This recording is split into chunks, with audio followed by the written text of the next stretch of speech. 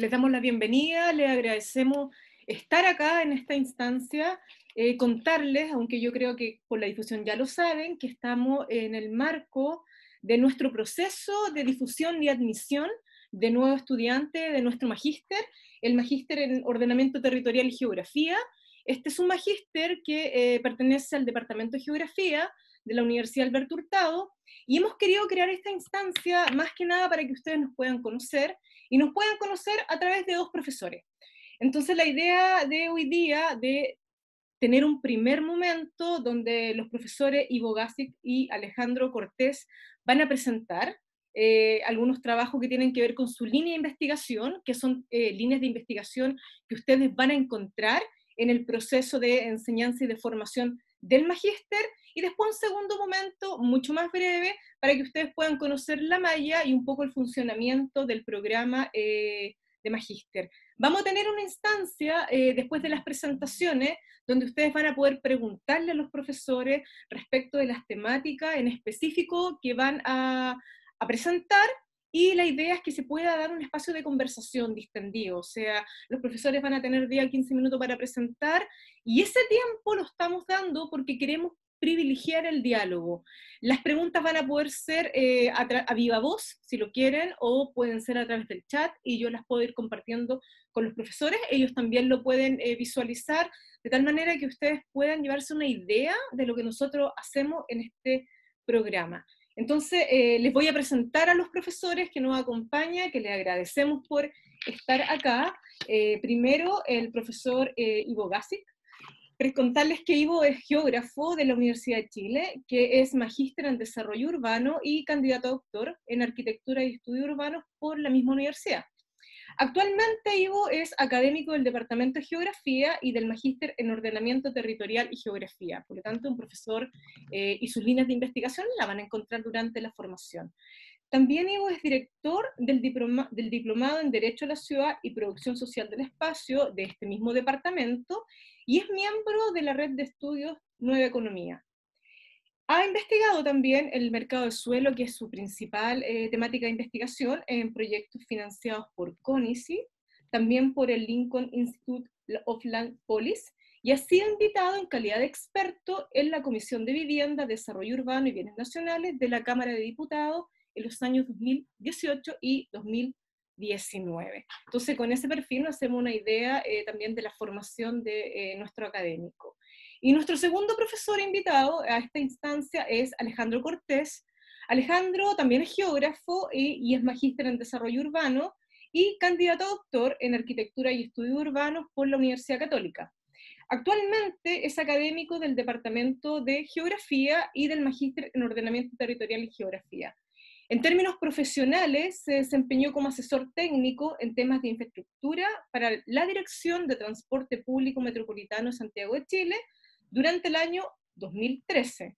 También lideró la creación de uno de los instrumentos de promoción al uso del transporte público en grandes ciudades como parte de la Política Nacional de Transporte desarrollado por el Ministerio de Transporte y Telecomunicaciones, su interés investigativo, que eso también es interesante, así como les contaba que los intereses de Ivo iban mucho más por el tema de mercado de suelo, en el caso de Alejandro se vinculan a geografía del transporte y de la movilidad, planificación del sistema de transporte público y evaluación de impactos urbanos por infraestructuras de transporte. Nuestros profesores, ambos van a tocar temas vinculados a política, que es un tema transversal del programa, y eso es como lo, importante. En el caso del profesor Gasic, va a presentar eh, el tema política de suelo en la construcción de una ciudad digna, y Alejandro va a presentar políticas de movilidad e infraestructura en la construcción de ciudades sostenibles. Entonces le doy primero la palabra, eh, va a poner su presentación el profesor Ivo Gassi para partir con su presentación. Y mientras Ivo está presentando, eh, yo lo animo a que si tienen preguntas, las puedan ir anotando o las puedan ir anotando en el chat e inmediatamente y al final podemos recogerla y hacer un diálogo que sea lo más importante que a ustedes les pueda dar información suficiente de las temáticas que el programa aborda. Ivo. Gracias. Si quiere agregar algo más a la presentación, a lo que he dicho sobre ti, bienvenido.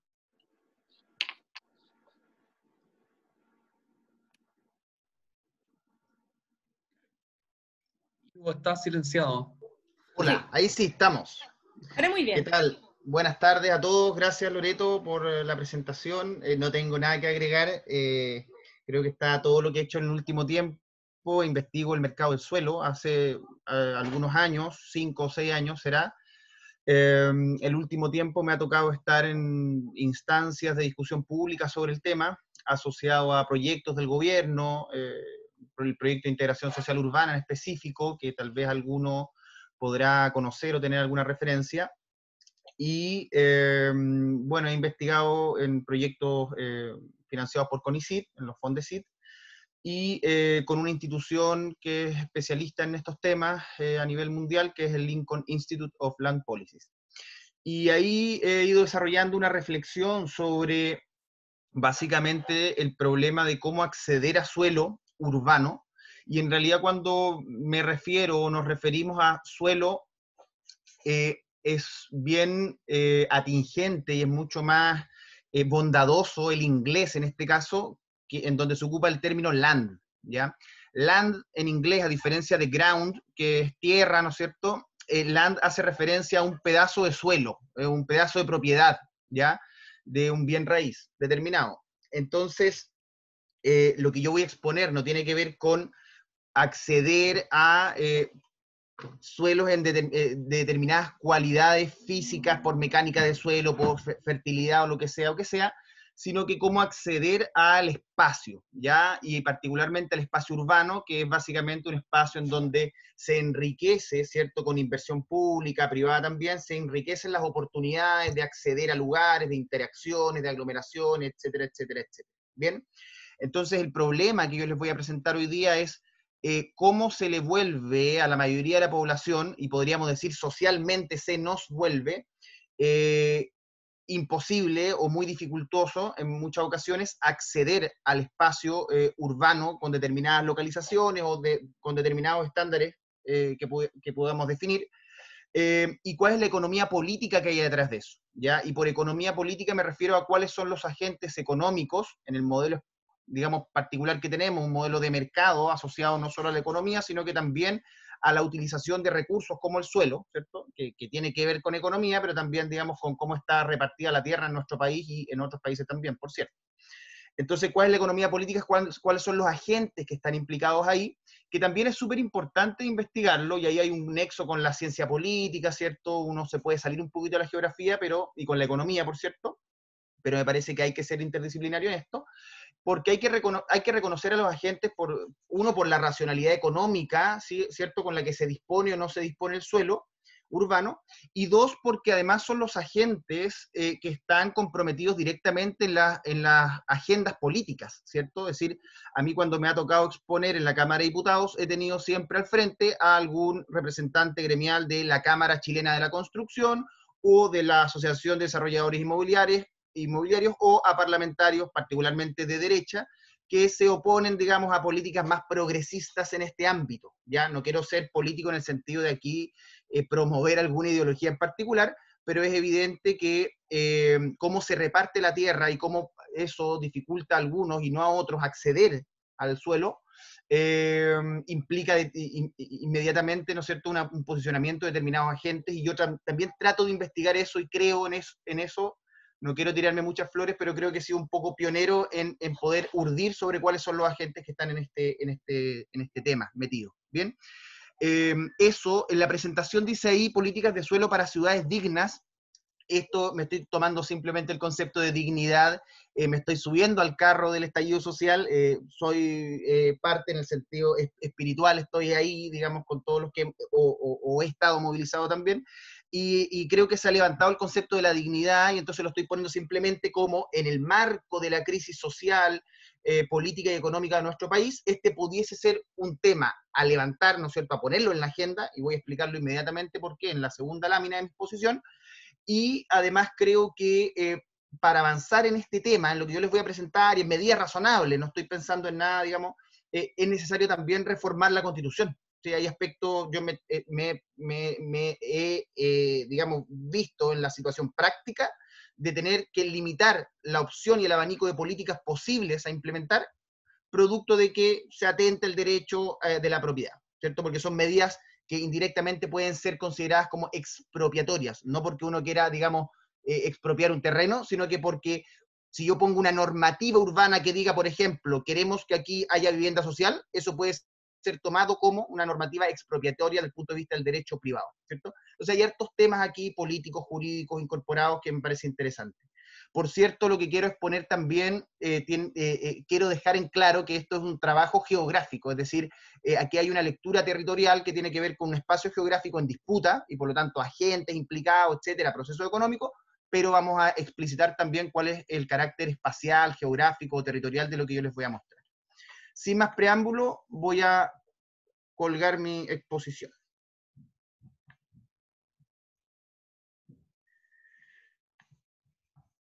Loreto, esta introducción que me, parecía oportuna hacerla, pero ¿cuánto tiempo me llevó para ver cuánto me queda? No, no, no, mi, nivel de control eh, no es tan rígido. Y, me pareció que fue bastante buena porque leíste un encuadre mayor. Así que voy a perdonar el Genial. Bien, gracias. Pero desde ahora controlo. Desde ahora me controla. Vamos entonces. Ya, eh, políticas de suelo entonces para la construcción de ciudades dignas. Parto con lo primero. Miren, en mayo del año pasado, el presidente de la Cámara Chilena de la Construcción decía, no exagero si digo que estamos frente a una crisis de acceso a la vivienda que está pronto a transformarse en una crisis social.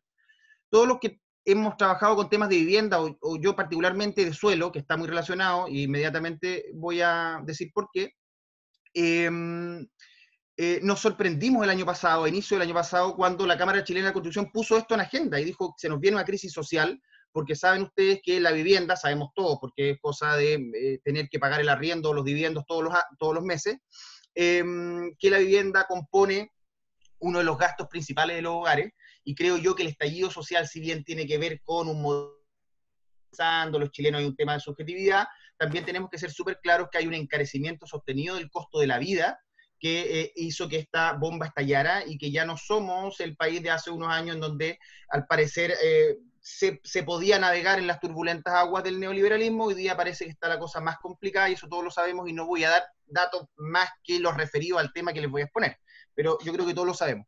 Y lo que mostraba la Cámara Chilena de la Construcción es un ratio muy simple, una relación entre el precio de la vivienda y los ingresos anuales. Y esto quiere decir entonces, por ejemplo, si tenemos un PIR de 7.6, que es el caso chileno, 7 eh, años, 6, le lleva a una familia chilena en promedio, ¿cierto? Destinando todos sus ingresos en el año a costear la vivienda, ¿cierto? O sea, 7,6 años de, nuestra vida se nos iría en eso y el resto de los países van viendo ustedes que menos, y estamos sobre un umbral que, eh, que la misma Cámara Chilena de Construcción eh, denomina como de severamente inalcanzable en la vivienda, ya muy cara en la relación con los ingresos. Algunos han dicho entonces, la vivienda está muy cara porque las inmobiliarias lucran mucho, eh, o porque las tasas de interés son inversamente proporcionales a los, a los precios, entonces han bajado las tasas y suben los precios. Bueno, y hay otros que han dicho, en realidad los ingresos están estancados, ¿no es cierto? Un problema de las remuneraciones, un desacople con las remuneraciones, etcétera, etcétera, etcétera. Bien, pero la Cámara Chilena de la Construcción, su principal argumento para explicar esto fue el precio del suelo. Mm. Dijo, aquí hay, algunos eh, problemas de aumento en los costos de la construcción, eh, aumento de las remuneraciones, eh, pero fundamentalmente se ha experimentado una inflación, según ellos, del precio de la tierra, que ha hecho que el costo del suelo sea muy caro para ellos, para sus proyectos. Bien, aquí algunos que querían ser críticos a la Cámara Chilena de Construcción y al mundo inmobiliario decían, no, ese es un argumento para decir que sus utilidades no son tan altas y para esconder, digamos, su utilidad, etcétera, etcétera. Pero la verdad es que yo estoy de acuerdo con la Cámara Chilena de Construcción en este punto. El suelo se ha tornado tremendamente caro y hay eh, factores que lo explican y que son bastante eh, fáciles de entender, lo que no implica, y aquí sí los más interesados en los temas urbanísticos, regulatorios, lo que no implica que aumentando, por ejemplo, las normativas urbanas, dándole más incentivos, flexibilidad en el espacio, todo lo que pide la Cámara Chilena de Construcción, vayan a bajar los precios del suelo, ¿sí? Porque hay un tema asociado a eh, la escasez, hay una, discusión bastante política, ideológica sobre la escasez, que voy a ir más adelante, que hace que la Cámara Chilena de la Construcción diga, bueno, el suelo es muy caro porque es escaso y por lo tanto tenemos que liberalizar el territorio para que nosotros podamos invertir en todos los lugares y así se nos vuelva más barato el suelo. Bueno, de ese argumento claramente no estoy eh, a favor y voy inmediatamente a por qué a ello, pero sí en el hecho práctico de que el suelo se ha vuelto muy caro y pueden ver ustedes que en los últimos años, mientras la vivienda crece más o menos a un 6 o 7% anual, su precio real, ¿cierto? Ajustado a la inflación, el caso del suelo es como un 12%, ¿sí? casi el doble va creciendo el suelo que lo que crece la vivienda. Bien, fundamentos para entender esto en realidad son bien simples. Uno, y es el más simple de todos, que el suelo no se deprecia, ¿cierto? Físicamente lo podemos entender y en las hojas contables de las empresas, de quien invierte en suelo, eh, no, no se pone ni siquiera tributariamente el suelo como un factor a depreciar. ¿Bien? No se deprecia. Y segundo, importante, ¿no es cierto? Eh, es que en realidad el suelo, todo el suelo disponible, porque nosotros podemos decir, por ejemplo, eh, uno dice, el suelo tiene una oferta fija, ¿cierto? Ya, pero piensen ustedes que si nosotros descontamos toda la superficie cubierta de hielo en el mundo, no es más de un 3% de la superficie de la Tierra que, ocupa, que se ocupa para suelo urbano, ¿ya? Entonces uno dice, bueno, pero queda mucho, ¿bien? Bueno, pero ese mucho suelo en realidad se va, no implica una oferta, ¿sí? El suelo se va ofertando solo en la medida que crece la demanda, ¿bien? Y en la medida que crece la demanda, los suelos que se van incorporando son cada vez de peor calidad. En el tema agrícola, estos son cada vez que, un, por ejemplo, una empresa que está localizando palta, la el momento en el, primer momento se localiza en el Talveg, que le llamamos los geógrafos, el punto más bajo del valle. Y después se van localizando hacia, digamos, arriba del valle, ¿sí? hacia la ladera. Hoy día las empresas, lo sabe muy bien la gente de Modatima y toda la gente que pelea por el agua, que los paltos se localizan también en las laderas porque tienen condiciones técnicas para poder hacerlo. Pero ceteris paribus, es decir, eh, manteniendo constantes las condiciones técnicas, por cierto que le es más caro bombear agua hacia arriba de la ladera que estar abajo en el valle fértil. Bien, entonces cada año que crecen los paltos se incorporan suelos de peor superficie. Esto, los fertilizantes y todo eso los pueden, como, como les digo, controlar, ir controlando, pero eh, ceteris paribus eso ocurre. Bien, en lo urbano es exactamente lo mismo, pero el factor no es la fertilidad, sino que la localización, y esto es los costos de transporte agregados. Si yo me viajo viajo los, viajes que yo quiera, los agrego en un paquete, en un programa de transporte, tengo costos, ¿no es cierto? Y cada vez son mayores en, la medida que las ciudades crecen. Bien, qué bueno que después tenemos a Alejandro, porque Alejandro, como trabaja temas de transporte y movilidad, creo que nos, nos puede contar cosas bien interesantes sobre cómo han cambiado los sistemas de transporte o eso, pero esto se mantiene más o menos así. Entonces, cada vez se eh, ofertan, ¿cierto? Se, perdón, se agregan suelos de peor calidad y eso hace que los suelos de mayor calidad que quedan en el centro de las ciudades ¿sí? vayan inflando sus precios cada vez más. Por cierto, lo, todos lo sabemos, los suelos del centro de una ciudad crecen cada vez eh, todos los años, ¿cierto?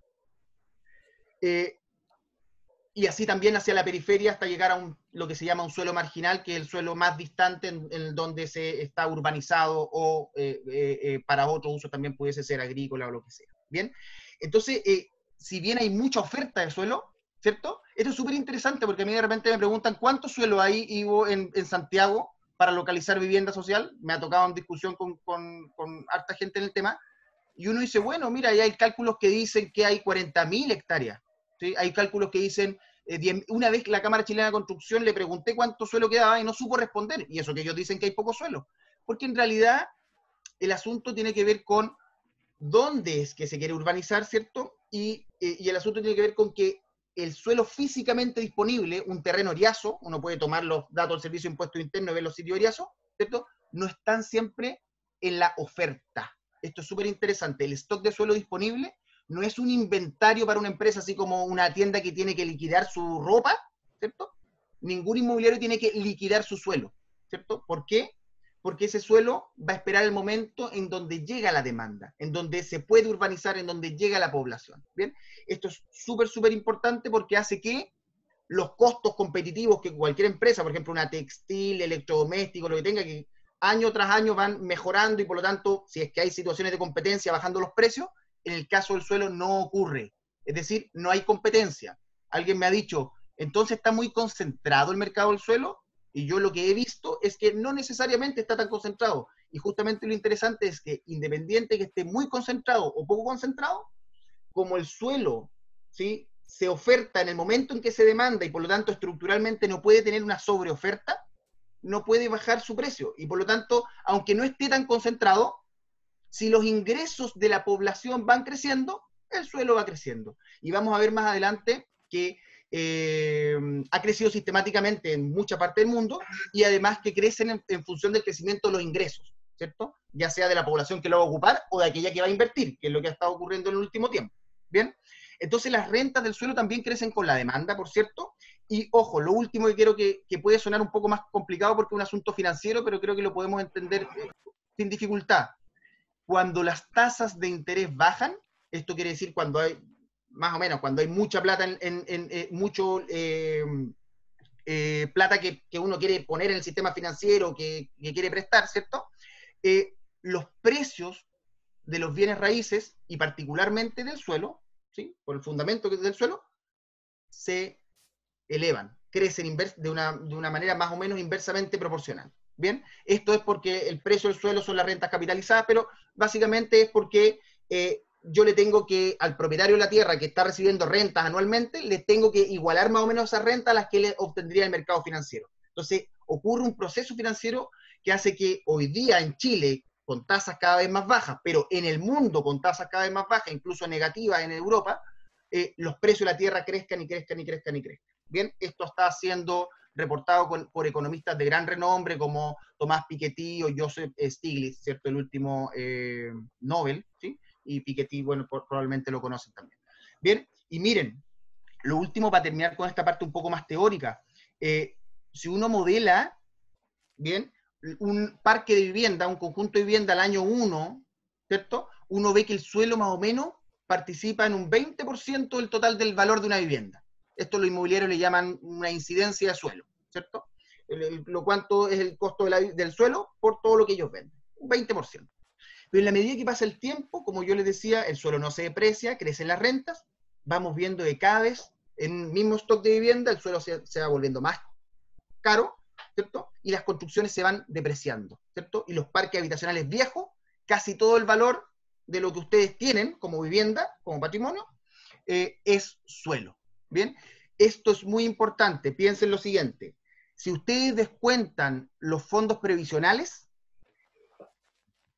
nos queda que el 63% de la riqueza de los hogares en Chile es su vivienda, es la vivienda. Estos son datos de la encuesta eh, financiera de los hogares del Banco Central. Y si el suelo, más o menos, lo voy a mostrar más adelante, participa, ¿cierto?, en un 45%, 46% del valor de la vivienda hoy día, porque está en, esta, en la mitad de este gráfico que yo lo estoy eh, mostrando, es decir, por la renovación del parque habitacional y todo, etcétera, etcétera, podemos dar cuenta que un 30% de la riqueza de los hogares corresponde a suelo. ¿Cómo quiere decir esto? Que más o menos, ¿cierto?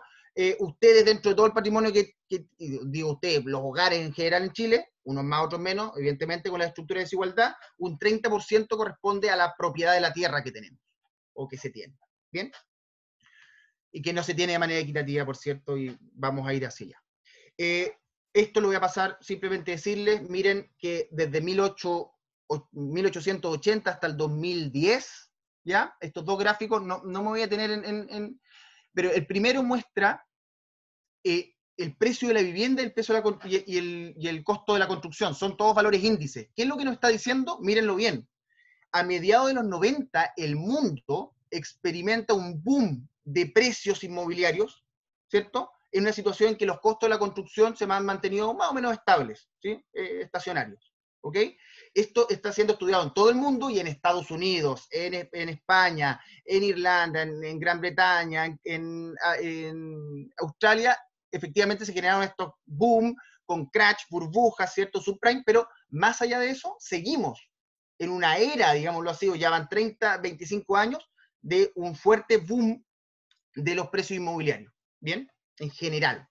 Y el segundo gráfico, el segundo gráfico muestra en, verde cómo ha aumentado el precio del suelo y en naranjito se ven la vivienda y pueden ver que sobre el crecimiento de la vivienda ha, estado el crecimiento, ¿no es cierto?, en el valor índice del suelo. Es decir, gran parte de este crecimiento y fundamentalmente se explica por el encarecimiento, esta inflación del precio del suelo asociado al crecimiento de los ingresos, ¿ya? ojo, sea el ingreso de la población que va a ocupar esa vivienda o sea el ingreso de los inversionistas, que es lo que está ocurriendo en el mundo y hoy día tenemos grandes fondos de inversión metidos en Chile invirtiendo en productos inmobiliarios en donde gran parte de su valor es suelo. Bien. Datos país, muy simple, eh, muy escuetamente que digan, ahí está cómo ha ido evolucionando, en realidad ha aumentado, ¿no es cierto?, el valor de la construcción y el suelo, eh, ahí están en, miles de millones, ¿cierto? Y el porcentaje del PIB país. El suelo hoy día, a nivel del PIB país, participa más o menos un 65% del PIB. Es todo el valor, digamos, del, del stock de suelo disponible residencial, solo residencial. Pero miren las zonas geográficas, estas son las zonas geográficas que establece el Banco Central, que la verdad que ahí sí que le falta un geógrafo al Banco Central, porque están bastante mal establecidas y podemos verlo, pero en la zona norte, ingresos mineros, más plata circulando, miren que los precios del suelo, esos son UF por metro cuadrado, son mucho más grandes que el resto del país, que el resto de la zona. De hecho, un poco para mostrar que claramente si hay una dinámica del cobre, si hay ingresos asociados a eso, si hay actividad asociada a eso, que deja más plata, el precio del suelo va a estar eh, eh, eh, por sobre. Bien al resto del país. Y ahí está excluido Santiago porque distorsiona el gráfico. ¿Por qué? Porque Santiago está harto más grande que eso. Vamos a ver Santiago entonces. Miren, ahí es como ha ido creciendo el precio del suelo en Santiago y AUR son los ingresos autónomos de lo urbano de la región, los ingresos de los hogares, descontado, digamos, las transferencias del Estado. Eh, en algún minuto el precio del suelo fue creciendo bajo los ingresos, después alto, pero se van acoplando y van siguiendo una, una curva más o menos parecida ¿ya? Y miren al lado el mapa, ¿ya? Aquí hay geografía, digamos, eh, eh, más explícita, porque podemos ver obviamente el patrón que va siguiendo con una correlación altísima con los ingresos, ¿ya? Ese es un mapa de autocorrelación espacial, ¿ya?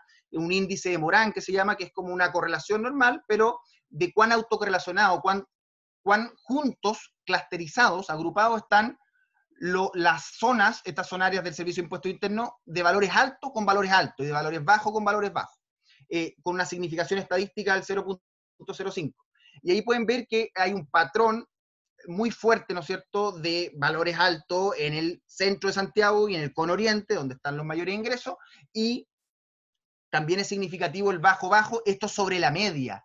Entonces, por eso hay tantos que están bajo la media, que están en azulito. ¿ya? ¿Por qué? Porque en el fondo hay más valores bajo la media eh, que sobre la media. ¿Por qué? Porque en realidad los de, los de arriba de la media, igual que en los ingresos del país y todo eso, la, la mediana está muy por debajo de la media. Por eso hay tantas entidades azules. Pero podemos ver entonces que tenemos todo Santiago como una gran periferia, pericentro y periferia rodeando un área que está en blanco, que es poco significativa estadísticamente, si hay valores aleatorios en las comunas que, pueden ver ustedes ahí, pero no sé, en, en Recoleta Sur, en Independencia, Estación Central, ven, hay lugares de alto ingreso, bajo, ¿sí? mezclado, hay, digamos, a nivel de microescala, por supuesto, ocurren otras cosas, pero eh, eh, después ven como en el centro de Santiago, en la comuna particularmente de Santiago y hacia el cono oriente, tenemos ya una fuerza estadísticamente significativa de autocorrelación alto-alto, es decir, precio del suelo alto con eh, autocorrelacionados, ¿sí? Zonas que se van formando en donde ya dejan de haber eh, valores del suelo bajo. Y solo para mostrarle que está muy correlacionado con los ingresos de la población, lo cual es evidente, pero hay que decirlo. O es lógico pensar, digamos. ¿Bien? Importante el efecto social que esto genera. Miren, el mapa, esto ya es una producción, lo otro también es producción mía, pero esto es algo, una investigación que estoy haciendo y que, digamos, es más o menos eh, digamos, no, había, no había sido realizado, eh, había sido eh, comentado de que el suelo se vuelve muy caro para la vivienda social, ¿ya? Pero aquí lo estamos tratando de medir. ¿Qué es lo que estamos viendo? Miren, el mismo gráfico del precio del suelo, yo lo estoy mostrando ahí, pero abajo estoy poniendo un umbral teórico para la vivienda social. Que ese umbral es más o menos con los subsidios para vivienda social, ¿cierto? Para los más pobres del país, eh, cuánto es lo que se puede costear por suelo, y es más o menos 4 UF el metro cuadrado, ¿ya?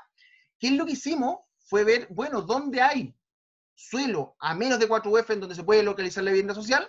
Y vimos que solo en esas áreas que están en rojo, es decir, solo en esas áreas que están en rojo se podría localizar vivienda social. Algunas de esas no están bien eh, urbanizadas, ¿no es cierto? Algunas están, de hecho, fuera del límite urbano. Es decir, no es donde uno cree que haya que localizar sino que es, digamos, donde se puede por mercado, ¿cierto?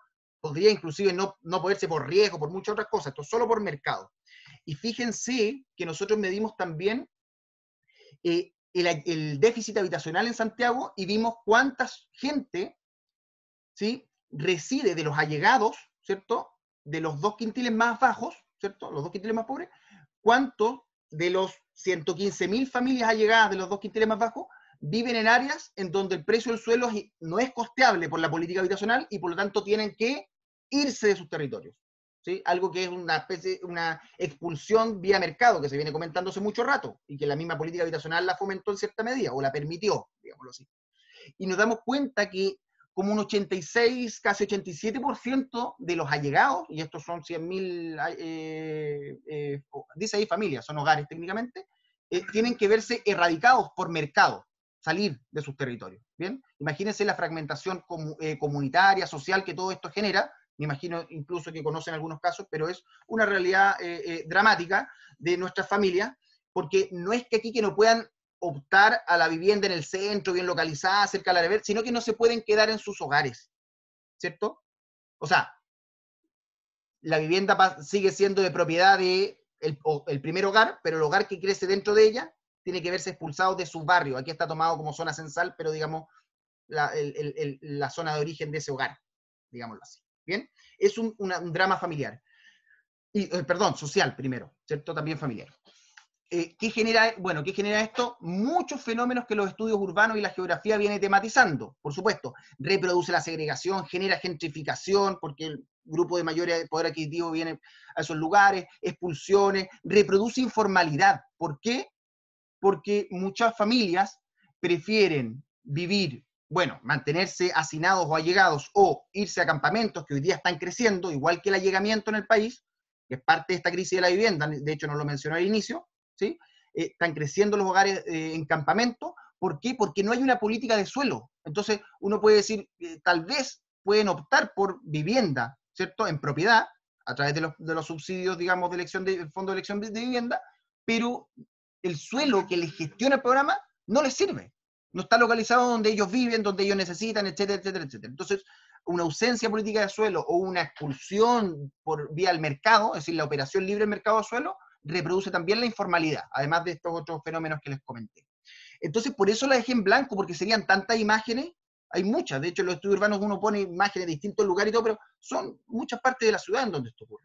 Pero sí quise poner esta eh, imagen, que es de un grupo de pobladores eh, de la Federación Nacional de Pobladores, que eh, acampó en el 2011 y 2012 para que bienes nacionales pudiese empezar a gestionar suelo con junto con el ministerio parte del suelo fiscal, y hoy día tenemos ya algunas iniciativas del gobierno para gestionar terrenos, y vamos a ir hacia ahora lo que me queda de la exposición, porque el gobierno sí, si ustedes ven las noticias, de hecho, anteayer se gestionó un terreno en, el Cerro 18 en Los Arnechea, no sé bien de quién era, en Osorno están eh, expropiando uno o negociando con el propietario, eh, y hay distintas experiencias que están tomando, pero a, raíz de la lucha de los pobladores. Fíjense, si un comité de allegados en Chile no va al municipio a pelear por un terreno municipal o fiscal, ¿cierto? O que aumenten una glosa en el presupuesto anual, ese comité no puede encontrar eh, suelo, digamos, bajo el escenario que les mencioné recién. Es decir, los únicos comités de vivienda que logran localizarse más o menos en sus barrios, más o menos, más o menos no se expulsan, son aquellos que logran algún nivel de actividad política, ¿ya? Eso es muy importante porque informalmente termina habiendo una gestión muy política de suelo por no tener una política de suelo, disculpen la retórica. ¿Bien? Eh, y acá lo que les decía, y esto es para los que me quieren hacer una pregunta, economía política del suelo urbano, yo me puse a ver en el, con una base de datos del conservador de bienes raíces de Santiago, quién eran los que más compraban suelo en Santiago. Y me di cuenta que el rubro económico que más compra suelo en Santiago es el rubro de la intermediación financiera, no es el rubro inmobiliario, ¿ya?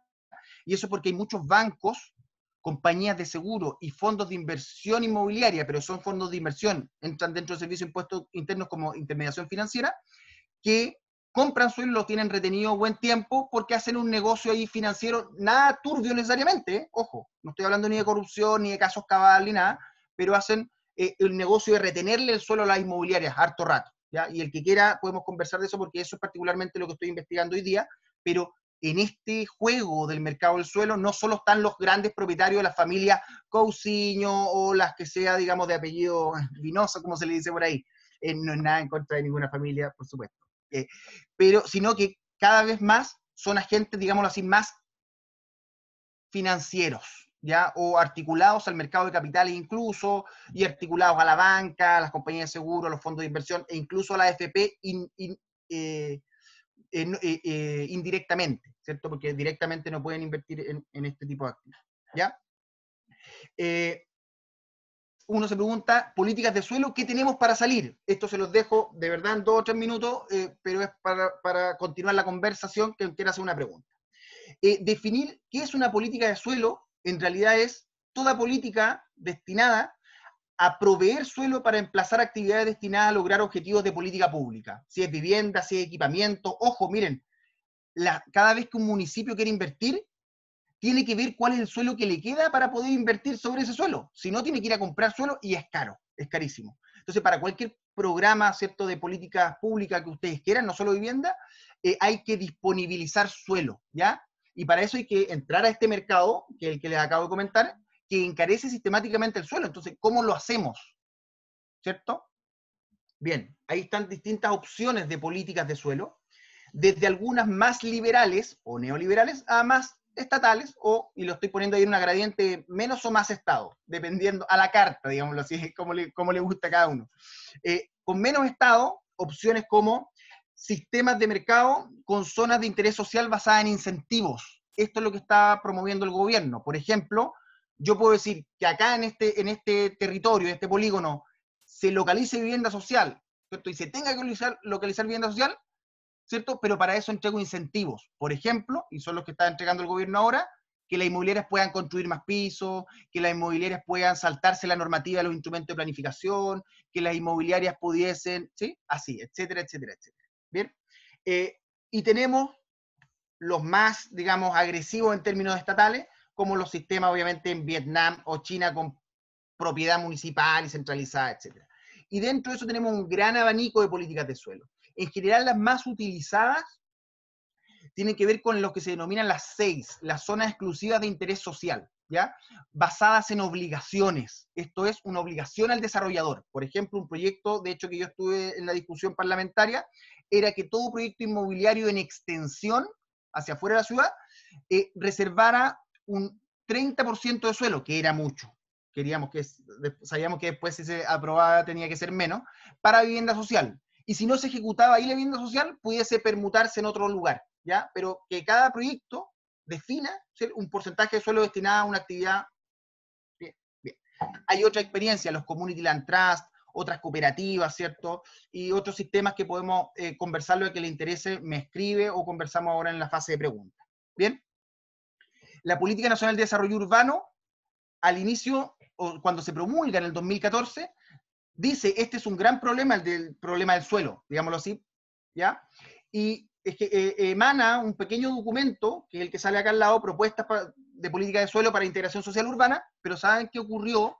Que se concentraron más en la integración social urbana que en la política de suelo. Entonces hicieron un proyecto de integración social urbana, esto era generar proyectos integrados, proyectos inmobiliarios en donde hubiesen ricos y pobres, vamos a decirlo así, ¿bien? Lo cual tenía hartas yo por lo menos hice hartas críticas en la discusión parlamentaria, y hay hartas críticas, pero lo que voy me voy a concentrar hoy día es que no había una política de suelo. Entonces, ¿qué es lo que ocurre? Que terminaron diciendo, chuta, pero es que para que la inmobiliaria tenga un incentivo para construir acá, ¿cierto? Vamos a tener, claro, para que pueda construir acá, vamos a darle una serie de incentivos. Y esos incentivos fueron básicamente, podríamos decirlo así, transgredir la ciudad, las normativas de la ciudad los instrumentos de, planificación territorial deliberados a escala local por las comunidades, eh, eh, y alterar todos los instrumentos, las normativas urbanísticas, básicamente. Eh, ¿Para qué? ¿Cierto? Para hacer rentables los proyectos, en vez de echar mano a una política de suelo. ¿Qué es lo que haría la todo ese porcentaje de plata, de dinero que yo les dije que había en el suelo, las primeras láminas, en realidad es el fruto del encarecimiento del suelo sin inversión del propietario. Por lo tanto, es un espacio para actuar, Fiscalmente lo hacen algunos con lo que se denominan los instrumentos de captura de plusvalía. Esto es sacarle esa plata al suelo para destinarla a fondos municipales o de servicios de, urbanización que pudiesen financiar obras públicas, porque las ciudades necesitan financiarse. Pero del punto de vista de lo que estamos viendo acá, ¿cierto? Sería tratar de hacer que los desarrolladores de vivienda, las empresas, pudiesen acceder a suelo más barato, negociando con los propietarios a precio por debajo del mercado. ¿Cierto? Y eso son obligaciones, porque si yo le pongo una obligación en un polígono, ¿cierto? A una empresa que aquí tiene que construir vivienda social, los precios del suelo de, ese polígono bajan, porque el propietario la tiene que vender a ese, a ese uso. ¿Bien? No sé si se entiende bien la dinámica, pero no se quiso entrar a discutir sobre políticas de suelo. ¿Por qué? Porque afectan el derecho de propiedad, están en los límites, ¿cierto? No necesariamente son expropiaciones, pero digamos están en los límites porque es ir a negociar precios del suelo, ¿cierto? Por debajo de los precios que pone el libre mercado. ¿Bien? Eh, la iniciativa del gobierno, bien, en este proyecto de integración social urbana inicialmente no consideraron políticas de suelo, pero después en glosas presupuestarias pusieron glosas para comprar suelo. Hoy día los serbios pueden comprar suelo este año, que se innovó este año. Y luego ahora, después del estallido social y con la crisis del COVID, y como el gobierno y como todos se están volviendo más socialdemócratas, partiendo por Lavín, eh, están estableciendo un nuevo proyecto de ley que incorpora políticas de suelo, normaliza las glosas presupuestarias para comprar suelo por parte de los serbios y empieza a hablar de un banco de suelo. Y este banco de suelo sería entonces que el Estado pudiese primero organizar todos los terrenos fiscales que tiene dispersos y disponerlos a la utilidad, digamos, de la comunidad, ¿cierto? A vivienda social, pero también otro uso, por cierto, y pudiese tener alguna forma de negociar en el mercado suelo nuevos terrenos privados. Eso está turbio, en veremos, no se sabe. La palabra turbio no es la más adecuada, pero está en veremos.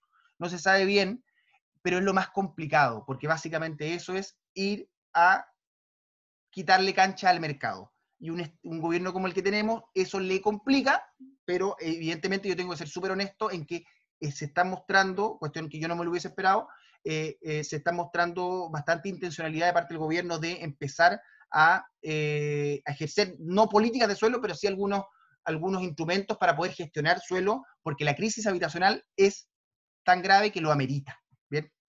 Así que, bien, ahí simplemente esta es la penúltima idea. Eh, eh, para hacer eso se necesita un sistema en que el Estado tenga una adquisición preferente de suelo. ¿ya? No lo vamos a conversar ahora, pero una cuestión jurídica que tiene distintas formas de ser entendida, pero que el Estado tenga una preferencia, ¿cierto?, respecto a otro agente en el mercado para poder acceder al suelo. Ya eso se hace en algunos países. ¿Bien? Eso es importante. Y de hecho está puesto en, el informe de la Comisión de la Política Nacional de Desarrollo Urbano, pero no está desarrollado porque es algo que genera mucha roncha. ¿Bien? Pero si es que no nos hacemos cargo, vamos a tener esto. ¿Bien? Es decir, campamentos hoy día en Chile apareciendo, ¿cierto? Y politizándose también, porque pueden ver ahí la consigna, eh, porque cuando la tierra, digámoslo así, ha sido apropiada de alguna forma que casi nunca sabemos cómo, eh, eh, luego las generaciones venideras y venideras y venideras van a cuestionar constantemente la legitimidad de eso y van a entender que es muy razonable diseñar políticas para, por lo menos, ir a negociar con el mercado los terrenos que crónicamente se nos encarecen. Bien. Consideraciones para el ordenamiento territorial de la geografía. Bien, esto esta lámina, para cerrar, sé que estoy bastante excedido, era para decirles que esto es muy geográfico, por cierto, y tiene que ver con el magíster. Uno, porque para diseñar buenas políticas de suelo hay que definir polígonos, ¿cierto? Las políticas de suelo son para definir, sean chicos o sean digamos, las áreas donde están creciendo todas las ciudades, independiente del tamaño que tengan, ¿cierto? Eh, hay que definir polígonos con criterios territoriales. Por ejemplo, miren el criterio territorial, que es muy interesante a discutir en Chile, que uno podría poner en la nueva constitución.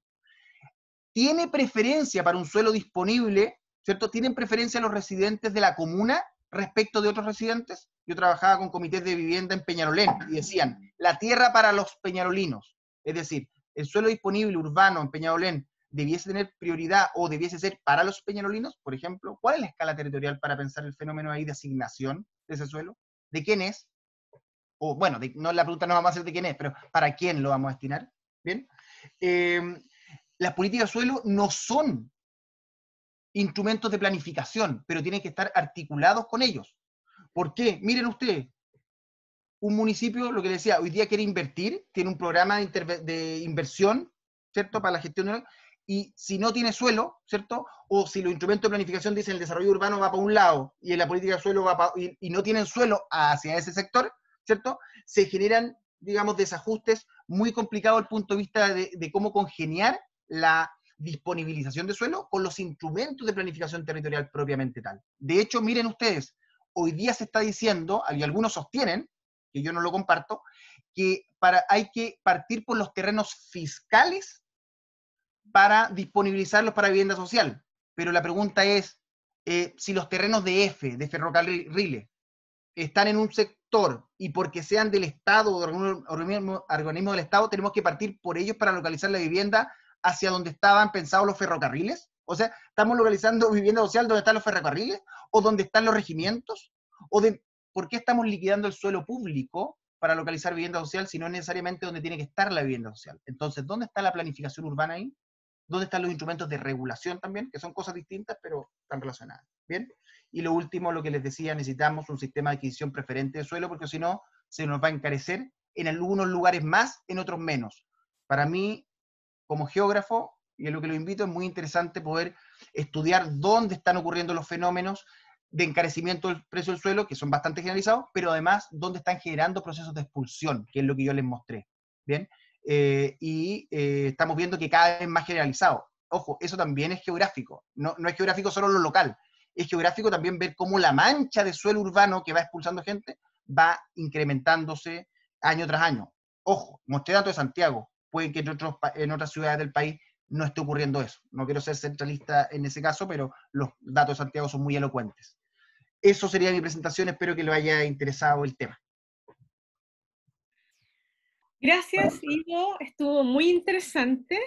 Eh, mientras Alejandro eh, va cargando su presentación, eh, vamos a mirar el chat, se ha sumado gente, le quiero dar la bienvenida a las personas que se están sumando, recordarles que este es una instancia para que conozcan nuestro magíster, a nuestros profesores, estamos en la etapa de, admisión y prontamente inicio el programa de magíster en ordenamiento territorial y geografía, y, acá hay algunas preguntas en el chat, mientras eh, Alejandro eh, suma su presentación para ocupar el tiempo.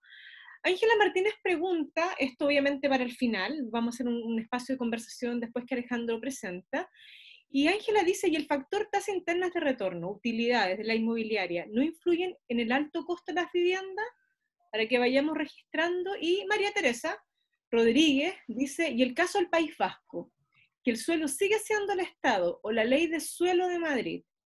¿Cómo se vincula o relaciona una ley de suelo con una ciudad que ya existe y necesita responder a la necesidad de crecer? Responder a un ordenamiento territorial. Qué buena pregunta, María Teresa. Yo está anotando para poder después, ojalá, hacer una, una respuesta integrada. Y Gabriela Belén Silva, buenas tardes a todos, gracias por la presentación, gracias Gabriela también. Y Gaspar, hola Ivo, ¿es posible que el Estado establezca un límite superior en el valor de suelo urbano según zonas? ¿Hay experiencias? Y luego Gabriela Silva pregunta, ¿cómo evalúa la irrupción de un municipio actor en la producción de vivienda de interés social como es el caso de la inmobiliaria popular de eh, Recoleta. Y la última pregunta, que después, como obviamente la estoy leyendo y está pasando rápido, los puedes mirar en este tiempo durante el chat.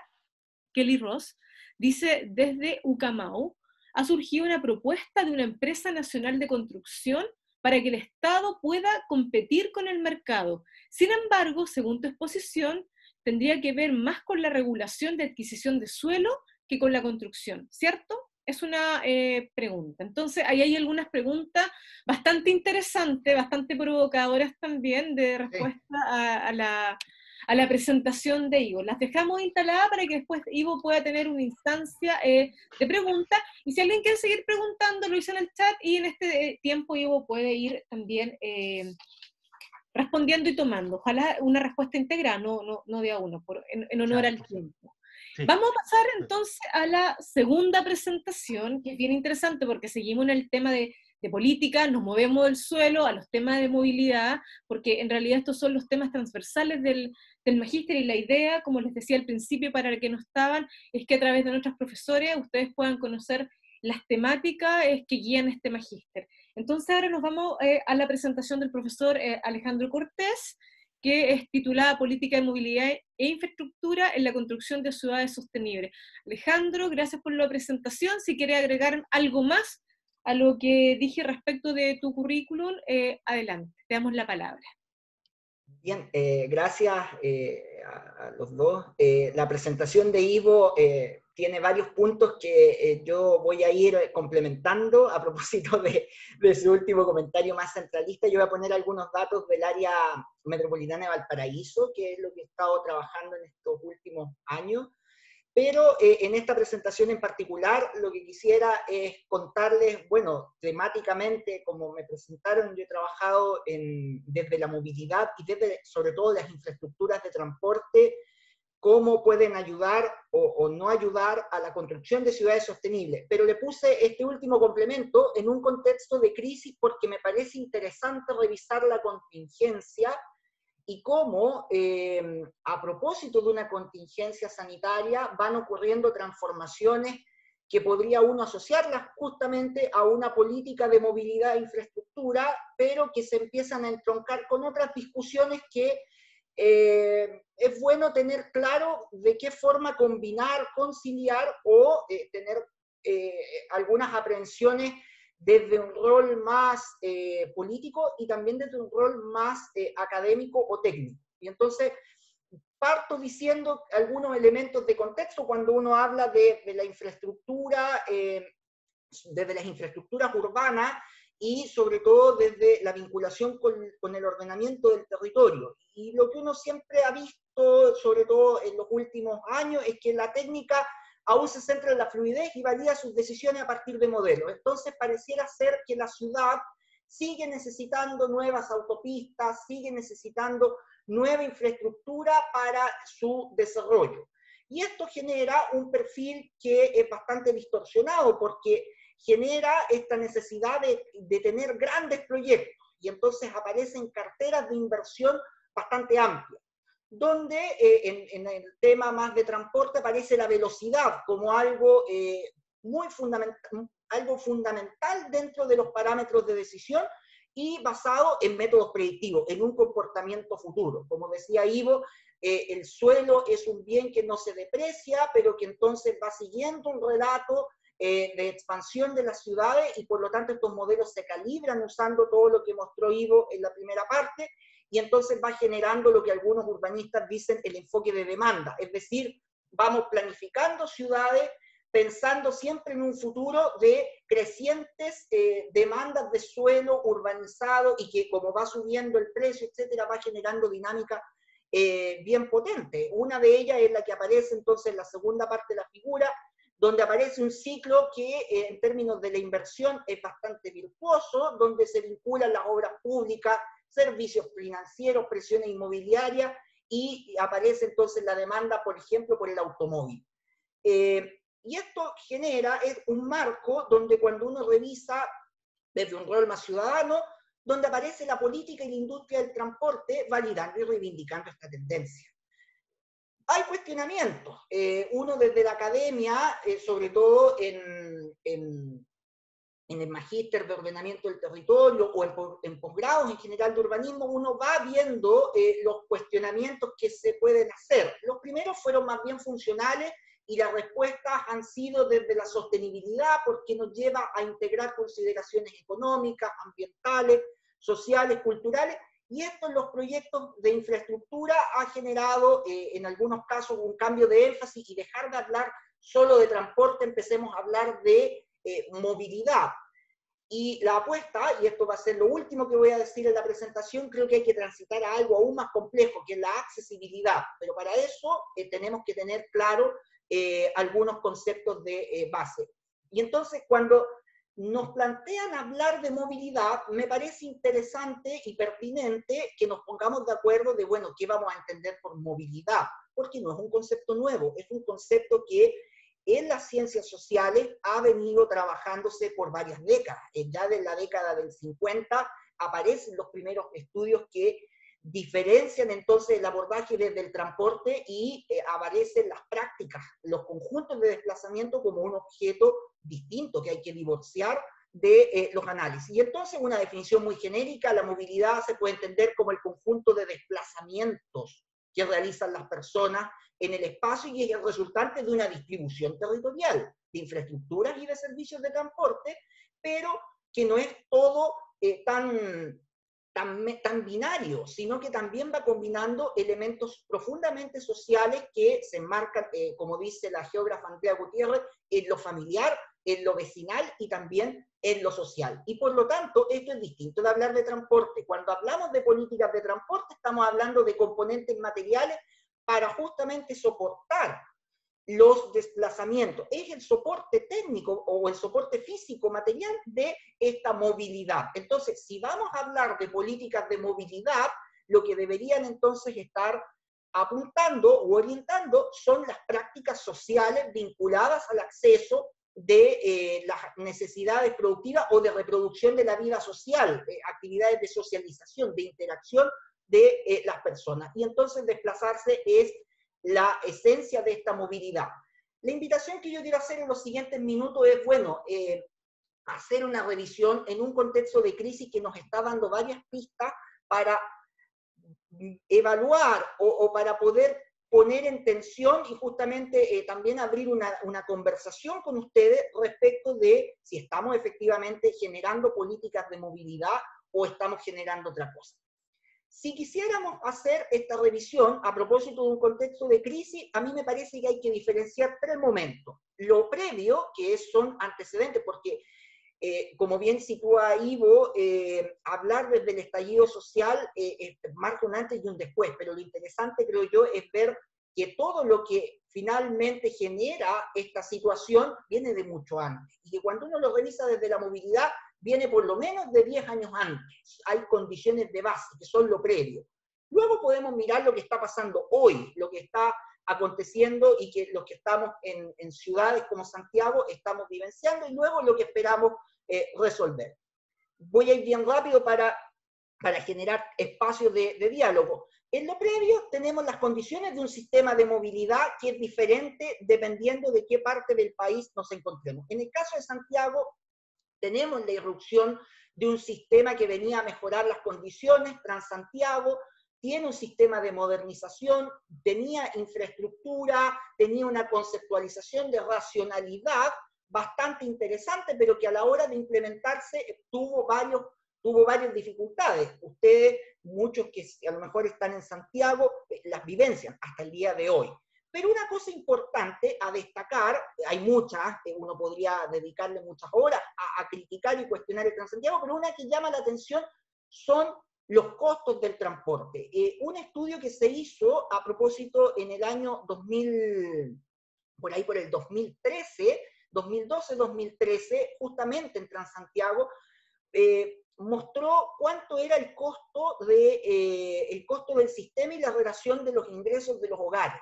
Esta es una lámina que fue bien polémica porque se creó, y yo ahora con los años y con la distancia al ministerio lo puedo decir abiertamente, esta lámina se exportó primero a congresos eh, afuera y nunca se dio a conocer dentro de Chile hasta que alguien entonces por ahí eh, la, puso en la discusión, pero era bien fuerte ver cómo eh, las autoridades conocían esta métrica. Y luego cuando se exporta entonces el contexto nacional, se exporta con valores más bajos, fue bien fuerte. Pero saliendo de, de lo anecdótico, fíjense que si en el 2013, si las personas del 10% más pobre dedicaran entonces a pagar el transporte público, tendrían que invertir el 85% de su presupuesto eh, familiar, algo que sabemos que no ocurre. Entonces, aquí aparece lo primero.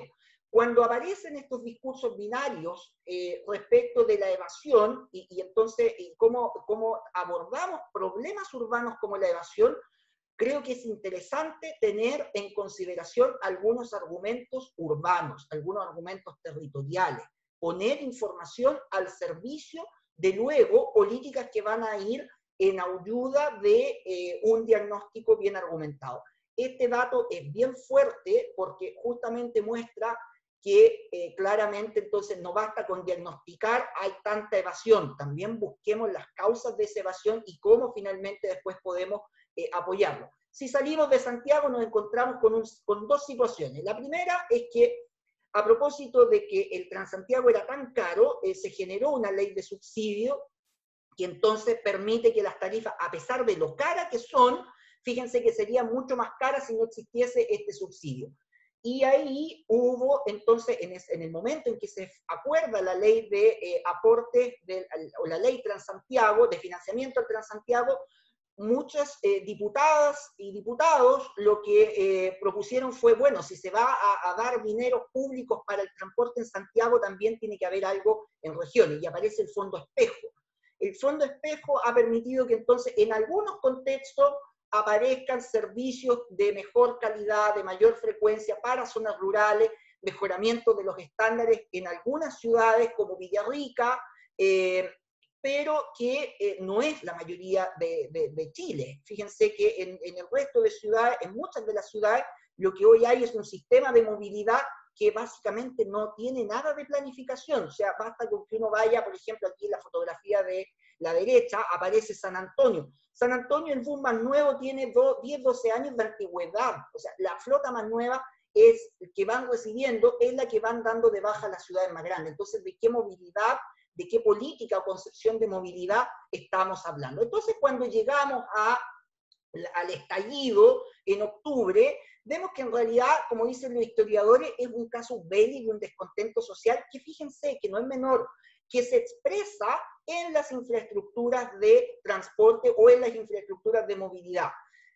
Es interesante darse cuenta cómo eh, aparece en el relato como algo muy, muy importante, pero que viene a revelar una serie de otras desigualdades, una serie de otras expresiones que son mucho más complejas y que, y que la invitación es entonces a mirar cómo eh, estos síntomas en realidad van dando cuenta de un problema que es mucho más complejo y que el ordenamiento territorial tiene que responder de una forma integrada, no puede estar respondiendo solo a una demanda única. Entonces, cuando llegamos al COVID, a propósito de una crisis, nos vamos dando cuenta que hay un confinamiento, pero que ya veníamos confinados, ya veníamos de una reducción de viajes, porque eh, justamente desde nuestro octubre que eh, muchas de nuestras actividades ya tuvieron que ser más temprano, eh, apareció eh, el toque de queda que no sabía que, no sabía del todo eliminado. Entonces, la verdad es que plantearse los tiempos en la movilidad como algo disruptivo del presente, así como de, que el COVID vino, no, la verdad es que yo creo, por lo menos en mi apreciación, viene más bien a reivindicar una serie de condiciones de profundas inequidades y desigualdades. Y lo que hace es que em, genera condiciones para que se tomen decisiones. Y ahí viene una cosa que me parece interesante. Bueno, la política pública primero reacciona obviamente con planes de inmediatez, se aparece entonces una reducción de los sistemas em, de oferta del transporte y esto eh, ha sido bastante discutido también por la academia y por organizaciones ciudadanas, porque lo que eh, ha pasado en las principales ciudades es que efectivamente, como tenemos un sistema de transporte público, pero que está fuertemente sustentado en empresas privadas, obviamente que si tenemos menos ingresos y tenemos menos personas en la calle, obviamente que sacamos menos, y entonces yo digo obviamente como si fuera parte de él, pero el relato como de lógica dice que entonces hay que tener menos flota en la calle. Y entonces eh, si hay menos viaje, obvio, se necesitan menos buses, pero eh, el, criterio sanitario nos dice, eh, epa, pero necesitamos distanciamiento físico.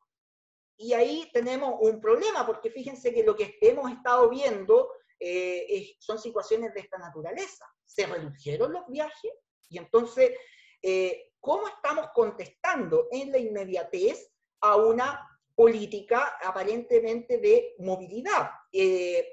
Y aquí aparecen cosas que, insisto, cuando uno las mira, por ejemplo, desde el ordenamiento del territorio, aparecen, por ejemplo, las funciones urbanas, aparece el trabajo. Y entonces, lo que nos, lo que nos preguntamos cuando aparecieron este tipo de constataciones fue, bueno, ¿qué hace toda esta gente aquí? Claramente no está porque quiere, está porque está en una condición de trabajo precarizado y donde justamente aparecieron estas empresas que eh, una serie de empresas que dijeron nosotros somos esenciales. Eh, así, ah, son todos esenciales. Y entonces, ¿cómo podíamos darnos cuenta de que efectivamente muchas empresas habían cambiado de giro y se habían convertido en esenciales? Los datos, fíjense, aquí aparece un reto de ordenamiento del territorio. La política, el organismo público encargado de haber tenido una base de datos actualizada, completa y para poder tomar decisiones en tiempo real, la verdad es que fue bastante más lento que lo que pudo contestar la academia. Aquí una iniciativa particular que están desarrollando eh, académicos de distintas universidades, entiendo que está comandado por la Universidad de Chile, pero también hay otros investigadores de otras universidades que a partir de datos de telefonía móvil rápidamente pudieron diagnosticar cómo se estaban comportando los desplazamientos cotidianos en las principales ciudades del país. Y en el caso de Santiago, bastó con mirar cómo se estaban dando los desplazamientos eh, cotidianos en una semana tipo para darse cuenta que efectivamente las políticas de cuarentena eh, tenían eh, bastantes debilidades a propósito de este cambio que se había dado de muchas empresas que con, con, la finalidad de mantener sus producciones habían cambiado de giro y se habían vuelto esenciales el, Estado entonces reacciona, fíjense cómo reacciona a información que fue provista por, eh, la, en asociaciones entre la academia y em, instituciones privadas. Lo interesante no es quién llega primero, fíjense, lo interesante es ver cómo también pareciera ser que otro de los retos del ordenamiento del territorio en, manera, en materia de movilidad es que no estamos compitiendo con eh, la acción pública, podemos ser colaboradores activos. Eh, pero para ser colaboradores activos también necesitamos que eh, esta vinculación nos entreguen los datos, nos entreguen la información. Esto ha sido bien explícito a propósito de, los datos sanitarios. Fíjense que en, el dato, en los datos de desplazamiento ha pasado un poco lo mismo. Lo que pasa es que es menos, es menos contingente o, o menos sabroso probablemente para la prensa. Ahora, ¿cómo hemos respondido? Fíjense, planificamos movilidad y aquí aparecen algunas iniciativas, yo simplemente voy a hacer una pincelada, la escala local. Y aquí aparece de nuevo otro reto de ordenamiento del territorio. Por una parte, tenemos entonces la organización sectorial, el Ministerio de Vivienda, entonces entrega lineamientos cómo se podría ordenar el espacio público, pero no entrega los recursos. Entonces le dice a los municipios, le entrega una guía y le dice a los municipios, mire, si usted puede, eh, genere diseño, eh, implementelo, nosotros se los visamos a partir de una ventanilla única que va a estar eh, en la Sereni de Transporte, pero no, no le vamos a entregar presupuesto porque la verdad es que los municipios tienen que disponerlo. Claro, que encontramos que aquellos municipios que tienen presupuesto para poder invertir en ello, lo hacen. Las Condes fue bastante activa y, por ejemplo, la calle Rosario Norte rápidamente se eh, invierte entonces en ampliación de las veredas y eh, la, la, incorporación de ciclofacilidades. Lo mismo calle Agustina en Santiago Centro. Entonces la pregunta es si estos planes pilotos van a efectivamente ser una solución o van a ser un antecedente para un plan de movilidad mayor o nos vamos a convertir con eh, proyectos, eh, eh, con una ciudad, como dice el urbanista, un urbanista mexicano, un urbanismo a la carta, donde entonces en algunos lugares vamos a implementar un tipo de solución y en otros lugares otro.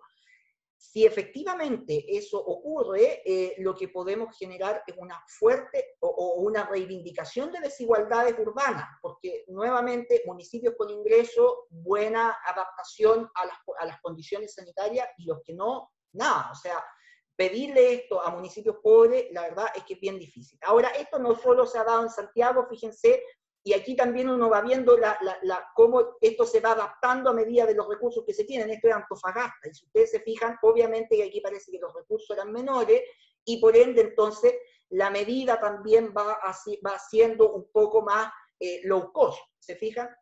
Ahora, lo interesante, y justo eh, esto lo leí hoy antes de la charla, fíjense, es que la evidencia internacional dice que este es un, un artículo que revisa 30 años de intervenciones de bajo, em, de intervenciones leves en el transporte, por ejemplo, de este tipo, y lo que dice es que pueden ayudar en hasta un 7% en la disminución de los eh, desplazamientos vehiculares. Ahora, hay otras medidas que se van dando, yo voy a, avanzar rápidamente en algunas para generar un espacio de discusión.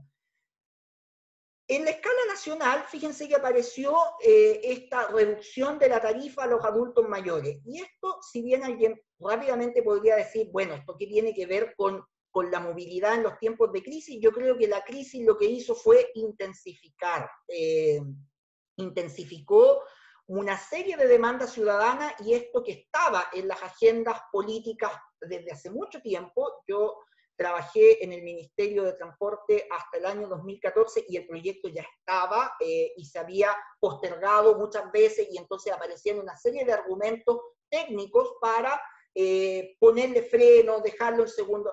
Pero eh, la verdad es que ahora era un poco la necesidad del gobierno de atender una, una necesidad mayor. fíjense que hizo apurar, acelerar esta tramitación. Yo creo que personalmente creo que esta política solo pudo ver la luz con agilidad ante un contexto de crisis. Si no, hubiese, si no hubiésemos tenido crisis, probablemente eh, esta no se hubiese visto a la luz. Y una que llama mucho la atención, y en esta me voy a detener un poquito más, es lo que hoy se está discutiendo a propósito del Plan Nacional de Infraestructura para la Movilidad al año 2050, eh, que está justamente aprobando en estos momentos el Ministerio de Obras Públicas. Lo interesante es que tienen una visión de ciudad bastante particular y, utilizan una serie de supuestos que a, a, mí por lo menos me llaman a reflexionar sobre si efectivamente esta va a ser la ciudad o van a ser los territorios que vamos a tener o que si queremos tenerlo al año 2050. Y uno de los supuestos, simplemente para dejar eh, fijado el argumento, es que se supone que entre el 2020 y el 2050 se van a multiplicar por tres los viajes vehiculares.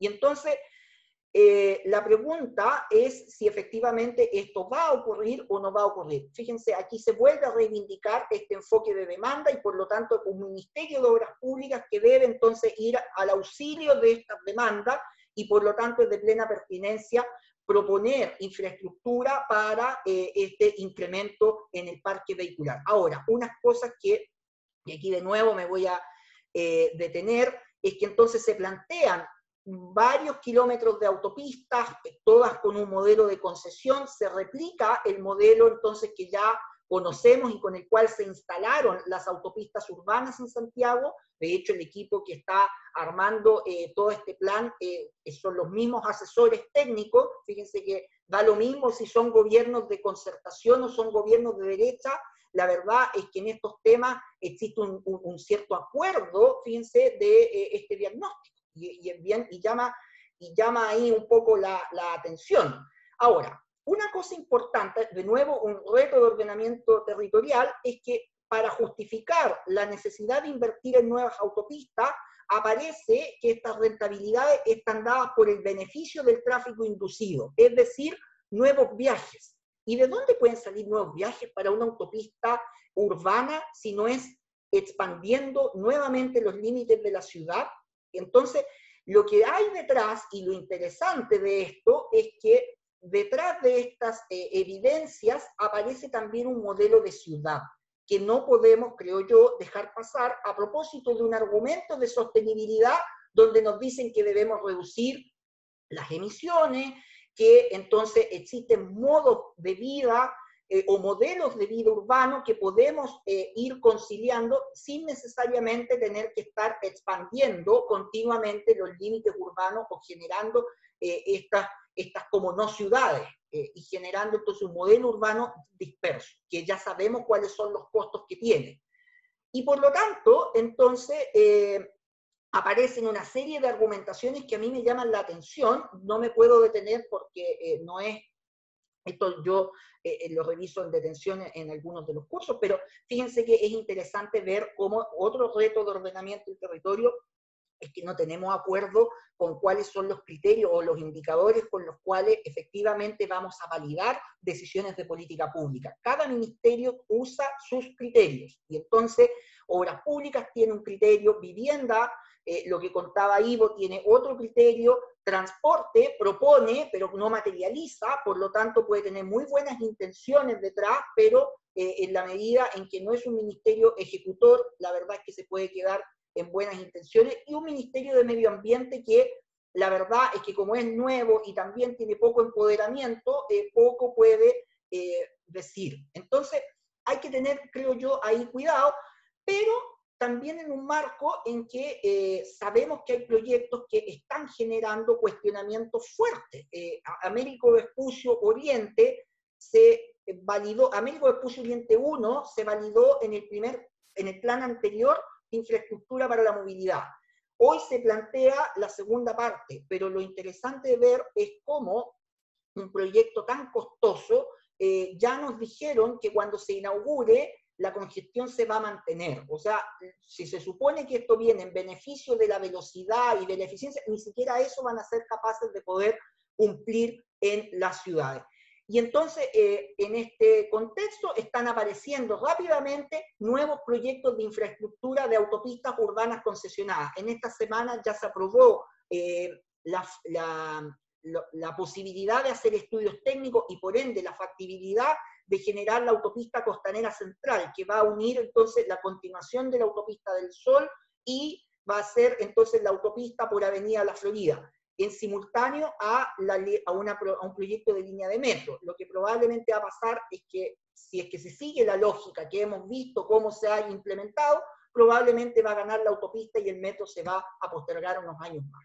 Ahora, saliendo de Santiago y es interesante ver cómo hay otros casos que también van dando pistas interesantes. Eh, el área metropolitana de Valparaíso, y esto es parte de una investigación que actualmente realizo, en la década del 2000 concluyó en simultáneo dos proyectos. Uno de mejoramiento del metro de Valparaíso y se le da un estándar eh, de, tren de cercanía eh, y, en el, y, en área urbana de Viña del Mar un estándar metro. Y en simultáneo se construye la autopista Troncal Sur, que ayuda y beneficia entonces a eh, los desplazamientos de Quilpué, Villa Alemana y conexiones hacia, desde el puerto de Valparaíso hasta el paso Los Libertadores. Lo interesante es que entonces uno podría ver, bueno, cuánto eh, aportan o no a las dinámicas urbanas de expansión y cómo entonces esto se va internalizando en mercado urbano. Y aquí aparece una constatación interesante a propósito de lo que planteaba Ivo y un puente bien relevante. Y uno de los ejercicios fue, a partir del método de precio hedónico, ver si la proximidad a una estación del, del Merval eh, y, una, y la proximidad al acceso al Autotroncal Sur era en parte internalizado en los precios de venta y arriendo de las propiedades, de los entornos. Y lo interesante de, de constatar fue que en el caso de las, de las transacciones de venta, en proximidad a las estaciones del Metro Valparaíso, sí dan una relación significativa. ¿Y cuándo? En el año 2000. Es decir, existe lo que los economistas urbanos llaman captura anticipada de plusvalía, porque en el 2000 estaban iniciándose las obras de mejoramiento del metro. Luego, en los otros años, aparecen eh, momentos más o menos significativos, pero eh, fíjense, van teniendo un relato eh, interesante de ir analizando. En el caso de la troncal sur no aparece ninguna referencia eh, significativa, es decir, al parecer la valorización de las propiedades en este mercado bien particular, que es el área metropolitana de Valparaíso, eh, ni siquiera las familias valoran estar cerca de la autopista al momento de vender y ni menos al momento de arrendar. Sin embargo, es un argumento que el Ministerio de Obras Públicas utiliza fuertemente para decirlo, y la publicidad también. Fíjense, estos son artículos de diario del año 2003, eh, eh, un año antes de que eh, se inaugurara el Troncal Sur. Y entonces cuando uno revisa la prensa se encuentra cómo se generó una serie de argumentos a favor de estas infraestructuras. Eh, últimos departamentos, viva a siete minutos de Viña del Mar, viva próximo a la Troncal Sur, etc. Ahora, y con esto ya eh, incendio la cosa y me retiro lentamente, fíjense que esto es interesante porque eh, el presidente firmó hace unas semanas atrás un acuerdo de reactivación económica. Y entonces, a propósito de la crisis, es bien fuerte eh, porque efectivamente se necesita responder a, esta crisis económica que está generando el contexto sanitario y también el contexto social. Pero eh, lo, fuerte de esto es que una de las cosas más, eh, gravitante es que se dice que la infraestructura debe ser un detonante de trabajo y por lo tanto parte, una parte importante de este plan económico de emergencia es reactivar la inversión de obras públicas. Y lo que primero apareció fueron los dos proyectos que yo les eh, mencioné. Apareció Américo Vespucio Oriente 2 como un proyecto prioritario, aparece la autopista costanera central, y entonces lo que se dice es que necesitamos eh, rápidamente echar a andar las carteras de proyectos que ya tienen estudios técnicos validados. El Ministerio de las Públicas tiene una cartera de proyectos de autopista puesta eh, ya casi listas. Y entonces ni hablar de, cuando hablemos de movilidad, ni hablar de los otros modos de transporte. Y entonces cuando uno ve a, a, la gente que habla del ferrocarril, lo que más bien hacen son ironizaciones que a uno le llaman poderosamente la atención, porque uno sabe que el ferrocarril es un modo de transporte que en áreas suburbanas puede ayudar y puede beneficiar eh, si se generan buenos proyectos pero sabemos que un tren nacional eh, a secas, sabemos que no es rentable ni es lo que el país necesita. Eh, en términos de, los buses, eh, claro, tenemos el estándar eléctrico, pero ahí también otro reto de ordenamiento del territorio. ¿Sabemos de dónde estamos sacando la electricidad para todos esos buses? Porque Bocamina 1 y 2 se van a cerrar, pero no están cerrados. Entonces, aparecen, fíjense, cosas que a la luz de una planificación de movilidad no solo estamos hablando eh, de, del movimiento físico de buses, camiones, no, estamos hablando de más cosas y estamos hablando también de personas que necesitan moverse por la ciudad. Cierro entonces diciendo, bueno, ¿cuánto hemos aprendido de todas estas lecciones en materia de movilidad? Si la academia tiene diagnósticos claros, bueno, entonces, ¿qué nos falta? Y entonces la movilidad es un componente profundamente técnico, pero también es social y político. Y por lo tanto, pareciera ser que lo que nos falta es planificar desde la accesibilidad. Lo que sabemos de la accesibilidad es que nos permite vincular eh, todos estos elementos que eh, tanto Ivo como yo hemos ido, pues, eh, hemos ido colocando en la discusión.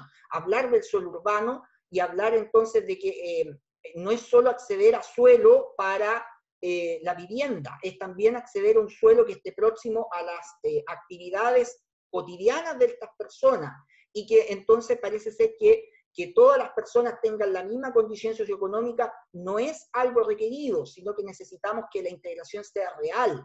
Eh, y que también entonces en la componente de transporte no solo eh, nos digan que van a mejorar el estándar del bus, sino que también nos den condiciones de accesibilidad en términos de tarifa. Que cuando se habla de la bicicleta, eh, no se diga, ah, pero qué ridículo, ¿cómo quieren una ciclovía para toda la ciudad? Existe la intermodalidad y lo que probablemente una buena política eh, desde la accesibilidad puede generar es justamente la incorporación de modos. Y entonces eh, creo que esto, eh, hablar desde la accesibilidad nos permite superar estos juicios puristas o estos juicios binarios de decir si la bicicleta es buena o mala para las ciudades o si precariza o no los desplazamientos en la ciudad. A mí me parece que aquí hay un desafío interesante eh, que eh, podría uno abordar y que eh, claramente se vincula en lo que nosotros con hemos dicho. Eso, gracias. Muchas gracias, Alejandro. y yo también, interesante las presentaciones. Ninguno respetó el tiempo, pero bueno, fue la, fueron igualdad de condiciones, igualdad de desobediencia. Y entonces, lo que voy a invitar ahora a los, a los participantes es a poder abrir, abrir un espacio de pregunta, de conversación. Tenemos una pregunta también acá para Alejandro, pregunta eh, María Teresa. Eh, ¿Está abordada la movilidad urbana en un sistema de transporte intermodal, transporte colectivo y no público?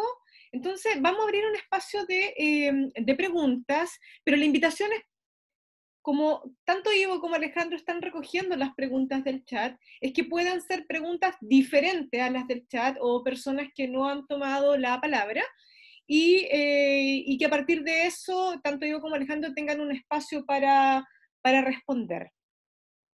Si hay alguna persona que, quiera preguntar, eh, este es el espacio.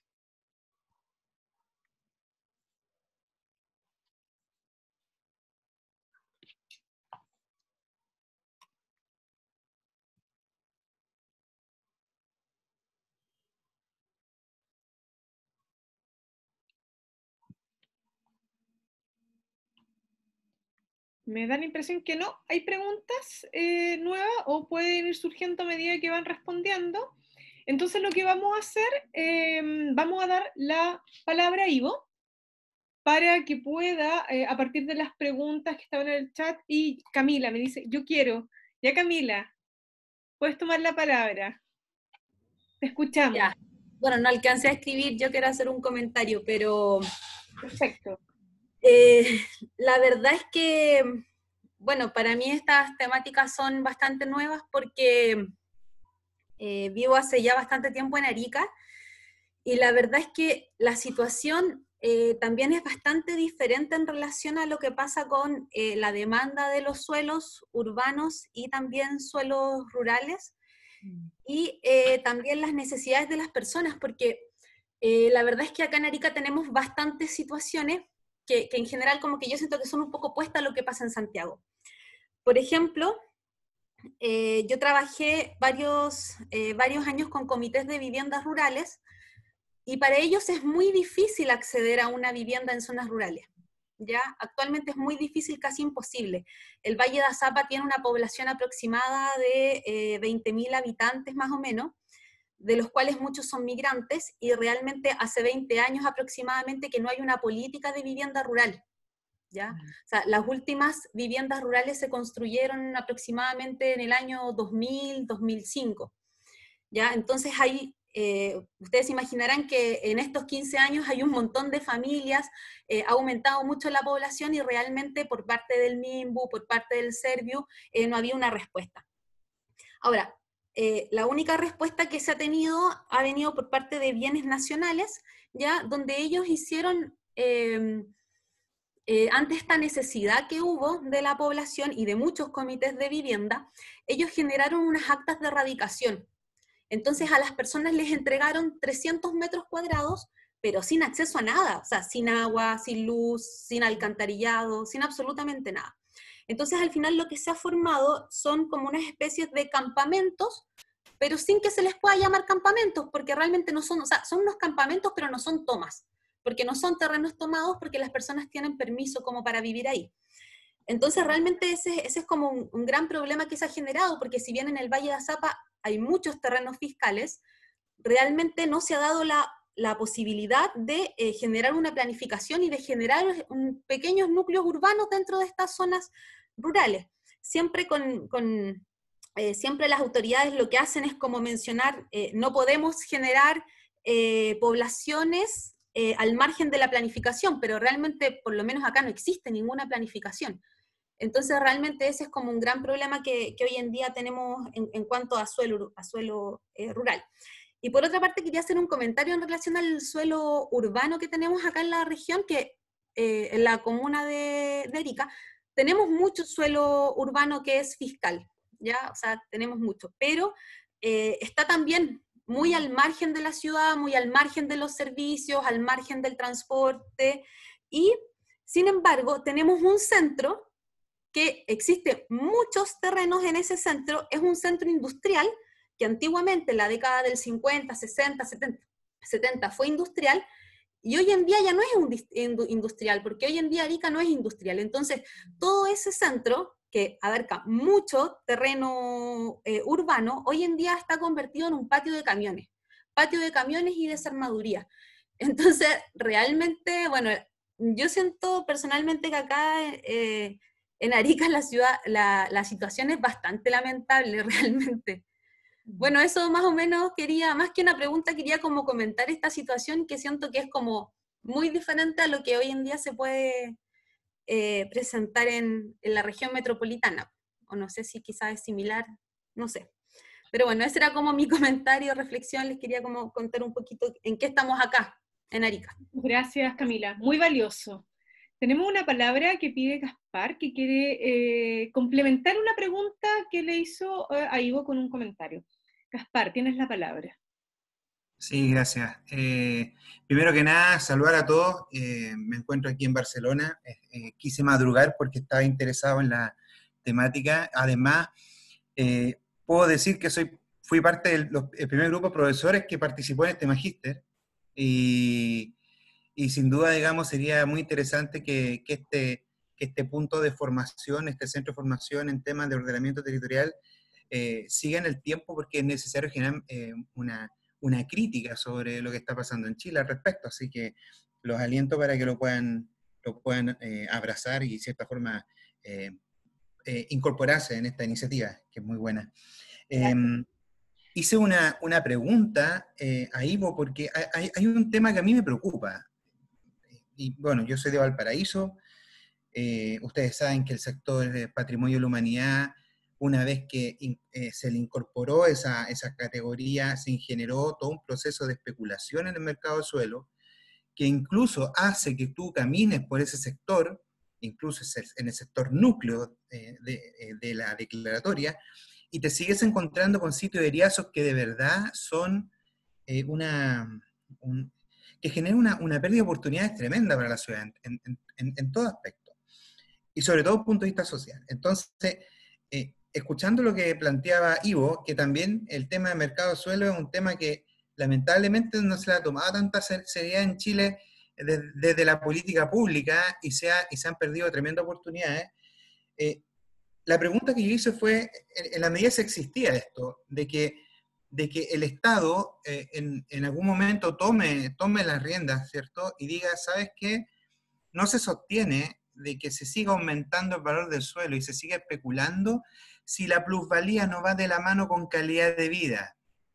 Porque en términos prácticos no, hay, no hay una relación entre plusvalía y calidad de vida.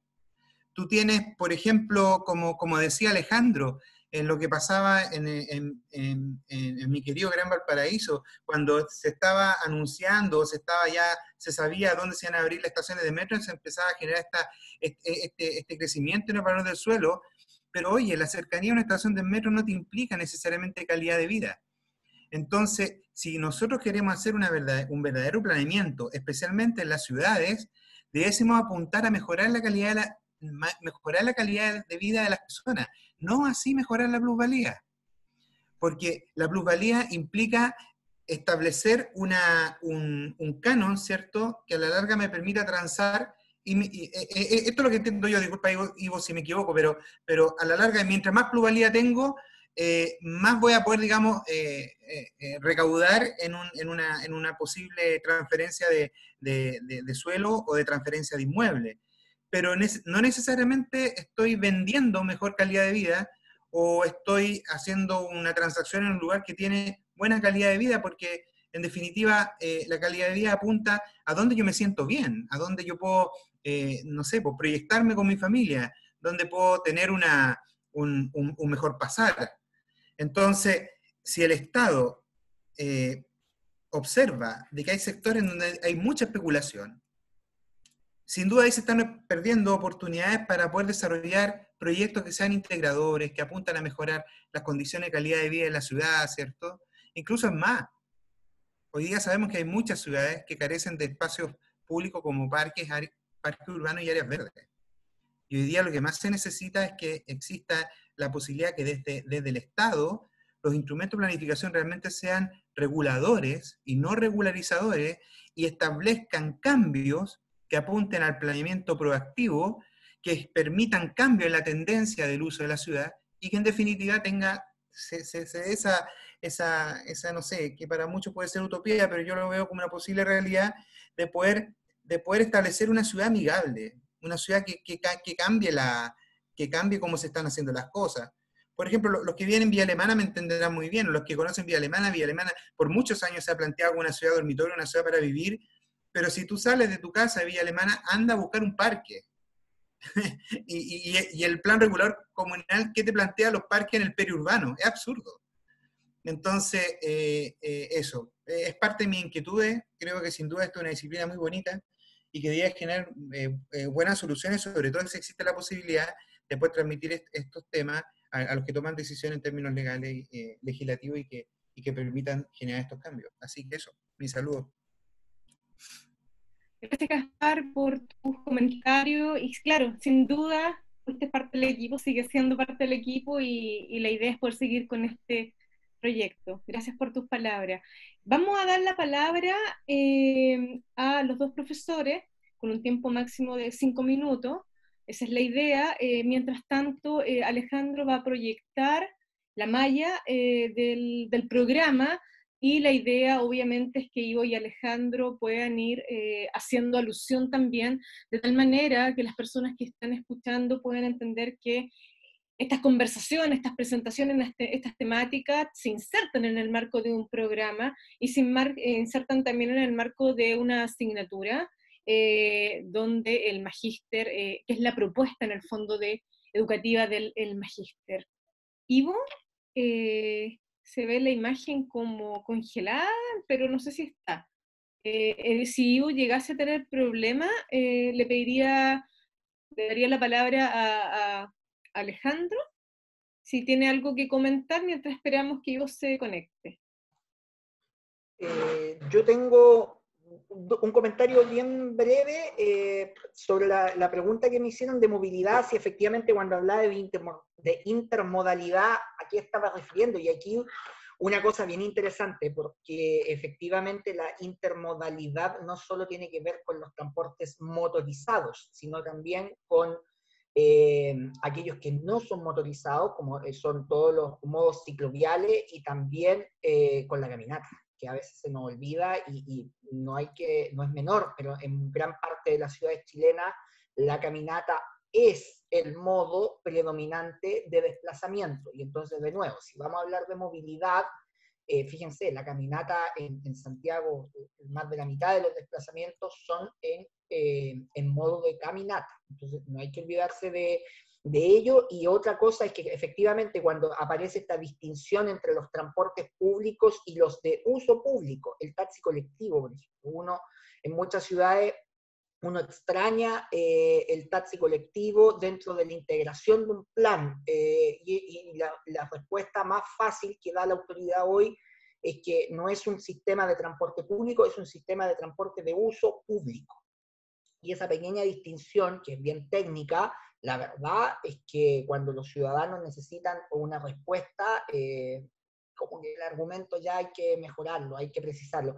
Y quiero vincularlo con algo que decía, eh, que decía la, eh, la, persona desde Arica. Yo quisiera sincerar dos cosas. A mí me tocó ver hacer varios eh, trabajos con, con, el transporte público de Arica y, me compartirá el diagnóstico. Eh, yo no sé si con los años habrá mejorado mucho la cosa, pero cuando a mí me tocó trabajar en él, era un transporte que en términos de buses bastante ineficiente. ¿Por qué? Porque la gente eh, se generaba un circuito bastante vicioso entre que los buses van buscando la demanda y en la búsqueda de demanda pierden eficiencia y por lo tanto eh, todos los buses van al agro, pero eh, no toda la gente va al agro. Y entonces, está la mayoría sí, pero no todo, y entonces se generaba un circuito vicioso que hacía que el público cautivo eh, fuesen los adultos mayores, personas, lo que uno llama técnicamente el público cautivo, es decir, aquellos que em, la tarifa es algo sensible, o los que tienen beneficios, los escolares, por ejemplo. Y entonces el transporte, los buses eh, tenían ese público cautivo y el resto, si podía, lo esquivaba con el taxi colectivo. Y entonces el taxi colectivo, que es más caro en términos de acceso eh, monetario, eh, resolvía con mayor eficiencia desde lo colectivo, desde el transporte más público. Y lo otro, a propósito de la, de la ruralidad, también aparecía eso, o sea, de cómo muchas familias que tienen un estilo de vida sustentado en actividades urbanas, necesitan conectarse con esta ciudad, como no pueden acceder a la vivienda en la ciudad, mantienen la vivienda en lo rural y entonces empiezan a exigir transportes con eh, horarios para tener entonces acceso a estas actividades urbanas. Por ejemplo, el acceso a las escuelas, porque eh, claro, en los 70, en los 80, todavía eh, el sistema, por ejemplo, de internados en los colegios era algo relativamente masivo, pero ya en los últimos años eh, estos sistemas no, no, no, están por distintas razones.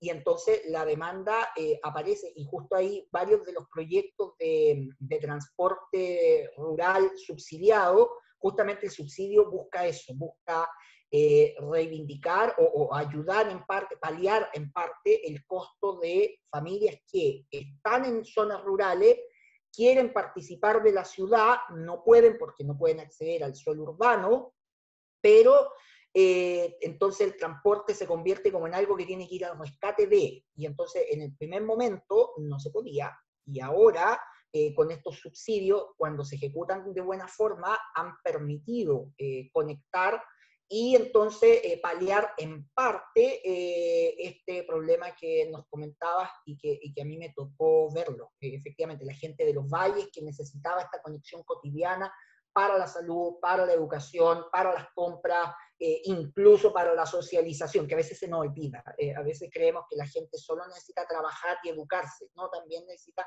socializar y el transporte también tiene que ir al amparo de ello. Eso. Gracias Alejandro. Ivo, te doy la palabra.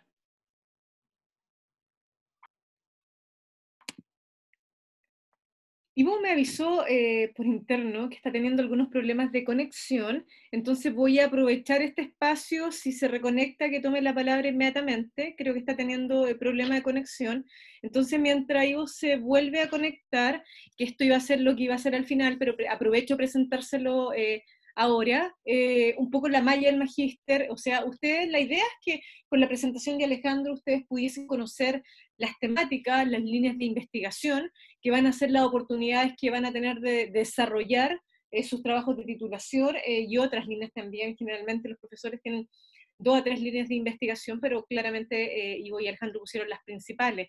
Contarles que este programa consta de cuatro semestres.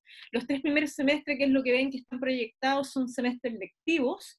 Hay un primer semestre que tiene la temática de ordenamiento territorial muy atingente o muy en la línea con lo que hemos estado conversando eh, ahora. También hay un ramo que eh, está centrado en los métodos y las técnicas del análisis territorial. En ese caso hay una, hay una linealidad, el, programa se preocupa de que eh, efectivamente pueda haber una progresión de una parte básica y una parte más avanzada en esa temática, y eh, una asignatura destinada al tema de gobierno y gestión pública territorial. Ese es el primer semestre, tres asignaturas, y en el segundo semestre entramos a los temas de fundamento de teledetección y planificación del territorio, lo que ya había anunciado de la segunda parte, de la parte más de profundización de método y técnicas para el análisis territorial y un electivo. Eh, y durante el segundo año está un curso de análisis de cuenca hidrográfica, el curso de urbanización y desarrollo urbano y el taller de graduación. La idea es que en ese, en ese momento ya los estudiantes puedan plantear eh, su proyecto de investigación para poder obtener su título y el cuarto semestre está dedicado exclusivamente eh, al taller de graduación. Esta es más o menos la propuesta, como les, mencionaba al principio, este es un taller, eh, un magíster de corte profesionalizante que tiene una especialización en términos de ordenamiento y planificación territorial, pero también una especialización que está vinculada a los métodos y las técnicas. Eso que iba a ser al final, creo que fue, eh, recuperamos el tiempo, ganamos el tiempo que volvió Ivo más abrigado, creo, y Ivo te doy la palabra y al final hacemos unas palabras de cierre la idea es que puedas dar respuesta de forma eh, más sintética, porque obviamente vamos a seguir haciendo otros espacios de, de conversación respecto de las preguntas. Sí. Gracias, Alberto. ¿Se escucha bien y se ve? Porque me cambié de dispositivo. Sí, bastante bien. Bien. Bueno, em, gracias por las preguntas. Igual, eh, claramente ya eh, la idea es ir cerrando con, los temas del magíster, está, viendo bien eh, la malla, interesante. Eh, pero bueno, voy a responder algunas de las cosas que quedan pendientes de, de las consultas que me hicieron, ¿cierto? Lo primero, cuando yo partí con la lámina sobre el tema de la Cámara chilena, etcétera, súper, súper sencillo en esto. Lo que quiero decir es que eh, frecuentemente se habla de una cierta excepcionalidad en el precio de la vivienda, ¿ya? Y en el sector inmobiliario, mucha gente dice, las TIR del sector inmobiliario son altísimas, no se compara a ninguna otra TIR de otro rubro, hay colegas de otras universidades que han calculado TIR de sobre 100%, cosas que son bastante exorbitantes. Bien, ¿Por qué ocurre eso? Bueno, por las razones que sean, no lo sé, hay que ver las variables bien del negocio, etcétera, etcétera. Pero en gran medida es por el fundamento del suelo, ¿ya? Son pocas las razones para explicar esto mismo si no es por la siguiente razón. Porque el suelo es un residual para el, para el desarrollador inmobiliario. Él calcula los costos y cuánto le tiene que pagar a la, a la constructora, las velocidades de venta, etcétera, etcétera, etcétera. Y en la planilla Excel de una empresa inmobiliaria, aparece abajo un valor residual del suelo. Esto es, para que ellos tengan una TIR aceptable en el mercado, para, aceptar el proyecto, ¿cierto?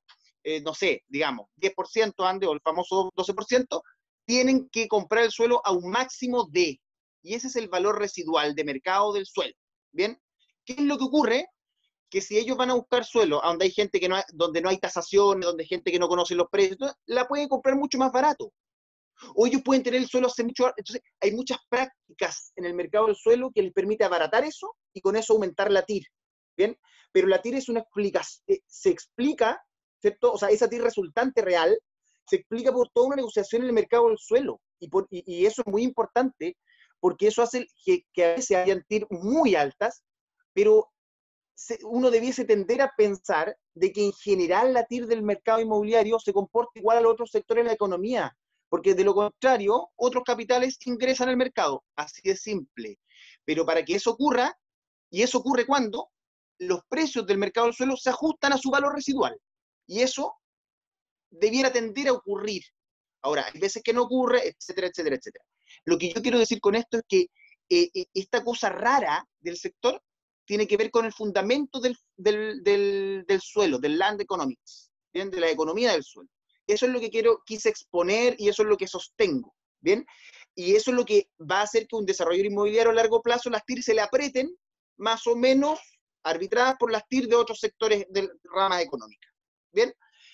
Eso sobre las TIR. Miren, sobre el, tema de la construcción, lo de Ucamau me parece interesante. Yo estoy mostrando aquí el tema del suelo precisamente por esta excepcionalidad pero de que el tema de la construcción es otro tema, perfecto, y de que pudiese el Estado meterse, perfecto, y digamos algo súper sencillo que el Estado se mete en más temas es un asunto político. Nos puede gustar o no, dependiendo.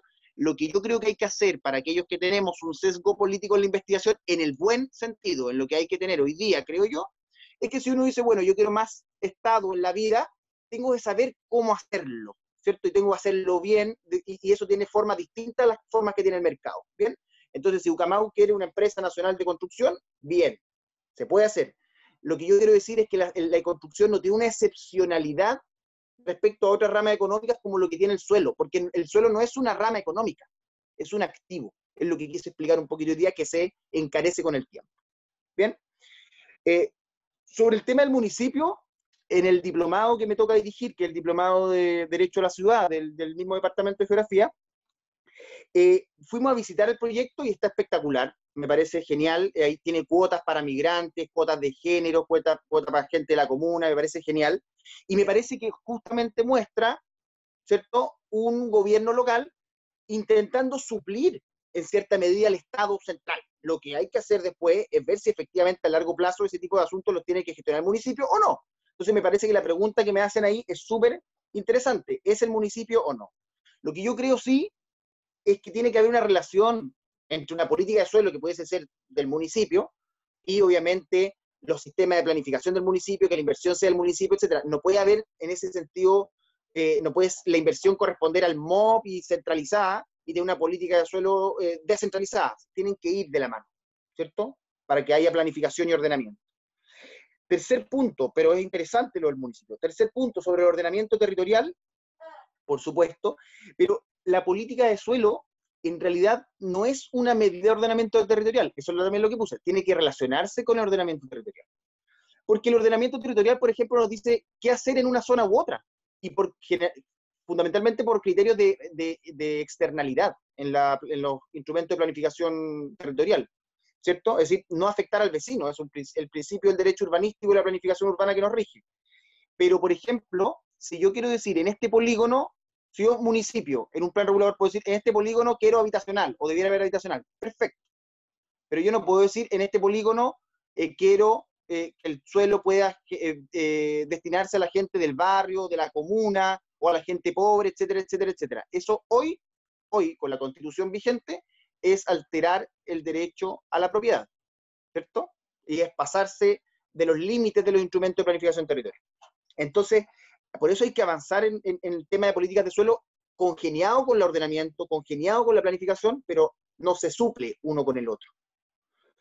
Bien, respecto al tema de, las plusvalías que preguntaban, eh, que preguntaban por ahí, eh, hoy día, ojo, igual hay una ley cabal para plusvalía en los límites urbanos, la reforma tributaria también graba, ¿cierto?, eh, las plusvalías con un crédito de 8.000 UF, es una cuestión más o menos rara, pero son medidas que han sido muy parciales, fragmentarias y que además, y esto es lo que me interesa cerrar, son medidas efectivamente recaudatorias, aunque sea de poca plata o lo que sea, son recaudatorias que complementan al impuesto territorial que rige en Chile, que es un impuesto al final del día al patrimonio, ya indirectamente.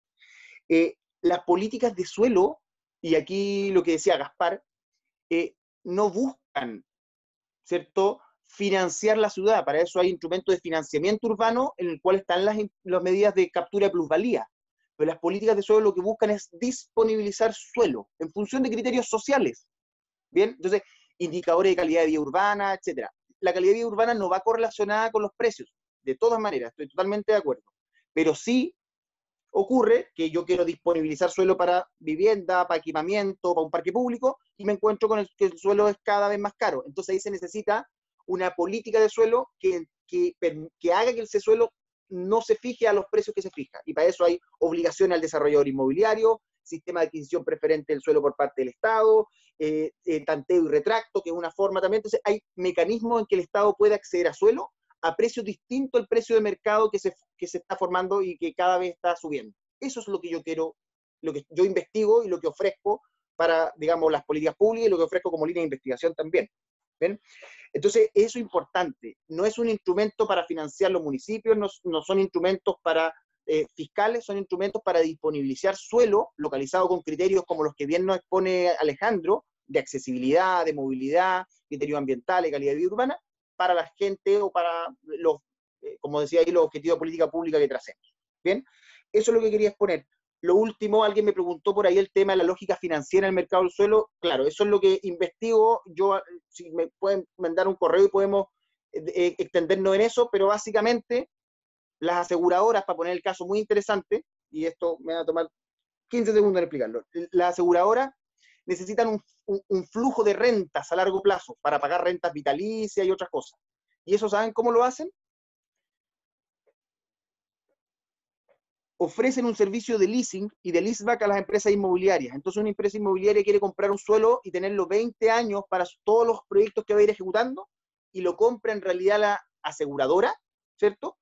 A un precio determinado y se lo vende a la inmobiliaria 20 años después al mismo precio. ¿Qué obtiene la aseguradora? Que todos los años la empresa inmobiliaria le entrega un canon de arriendo, es un arriendo financiero. La aseguradora le arrienda la tierra 20 años la inmobiliaria para que la inmobiliaria la tenga ahí a un arriendo financiero. ese suelo no se está ocupando. Mucho del suelo periférico, sobre todo en Santiago, está bajo esos mecanismos con bancos y aseguradoras. ¿Bien? Entonces lo que obtiene ahí técnicamente para que el, para que entiende cosas financieras son, es una tasa de descuento que aplica la aseguradora o el banco. ¿Bien? Eso. Bien, yo, eso es lo que, eh, lo que tengo, digamos, en términos de las preguntas y muchas gracias. Me, permitió exponer un poquito lo que estoy haciendo y generar un diálogo interesante con todos ustedes. Yo feliz por las preguntas y gracias por la invitación del, equipo del Magíster y espero que nos veamos con aquellos que eh, se matriculen definitivamente, ahí nos vamos a poder conocer un poquito más. Gracias, Lorena. Gracias, Ivo. Bueno, para ir cerrando, eh, quiero agradecer al profesor Alejandro Cortés, al profesor Ivo Gasic. Ambos son profesores del Magíster en Ordenamiento Territorial eh, y Geografía. Contarles que eh, las clases comienzan el 4 de septiembre. Aún hay un breve plazo de tiempo para las personas que quieran postular o matricularse o tener más información. Hay un correo que está en el chat que es posgrado.faxo.uahurtado.cl y en caso que tengan cualquier duda pueden escribir. Nada, pues espero que eh, la instancia haya sido de interés, que hayan podido conocernos un poquito más. Vamos a seguir desarrollando en el segundo semestre eh, para el próximo ingreso otras charlas con otros profesores de manera que vayan eh, conociendo todas nuestras líneas de, de investigación y nuestra oferta. Así que les quiero dar las gracias, que tengan una súper buena tarde. Gracias Gaspar por el trasnoche. Eh, la, la, madrugada en realidad, y, por estar acá y a los demás también. Espero nos veamos, o sea, saben dónde contactarnos. Así que reitero mi agradecimiento a Ivo y Alejandro por su excelente presentación. Que estén muy bien. Chao, muchas gracias. Muchas gracias, adiós.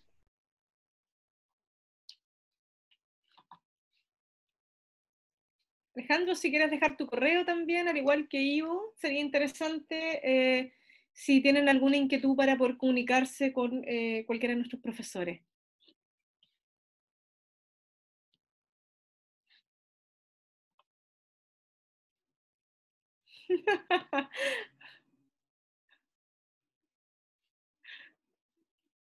Muchas gracias. Los dos dejan sus correos y también sus posturas frente a la, a la reciente postula, eh, votación de la nueva constitución.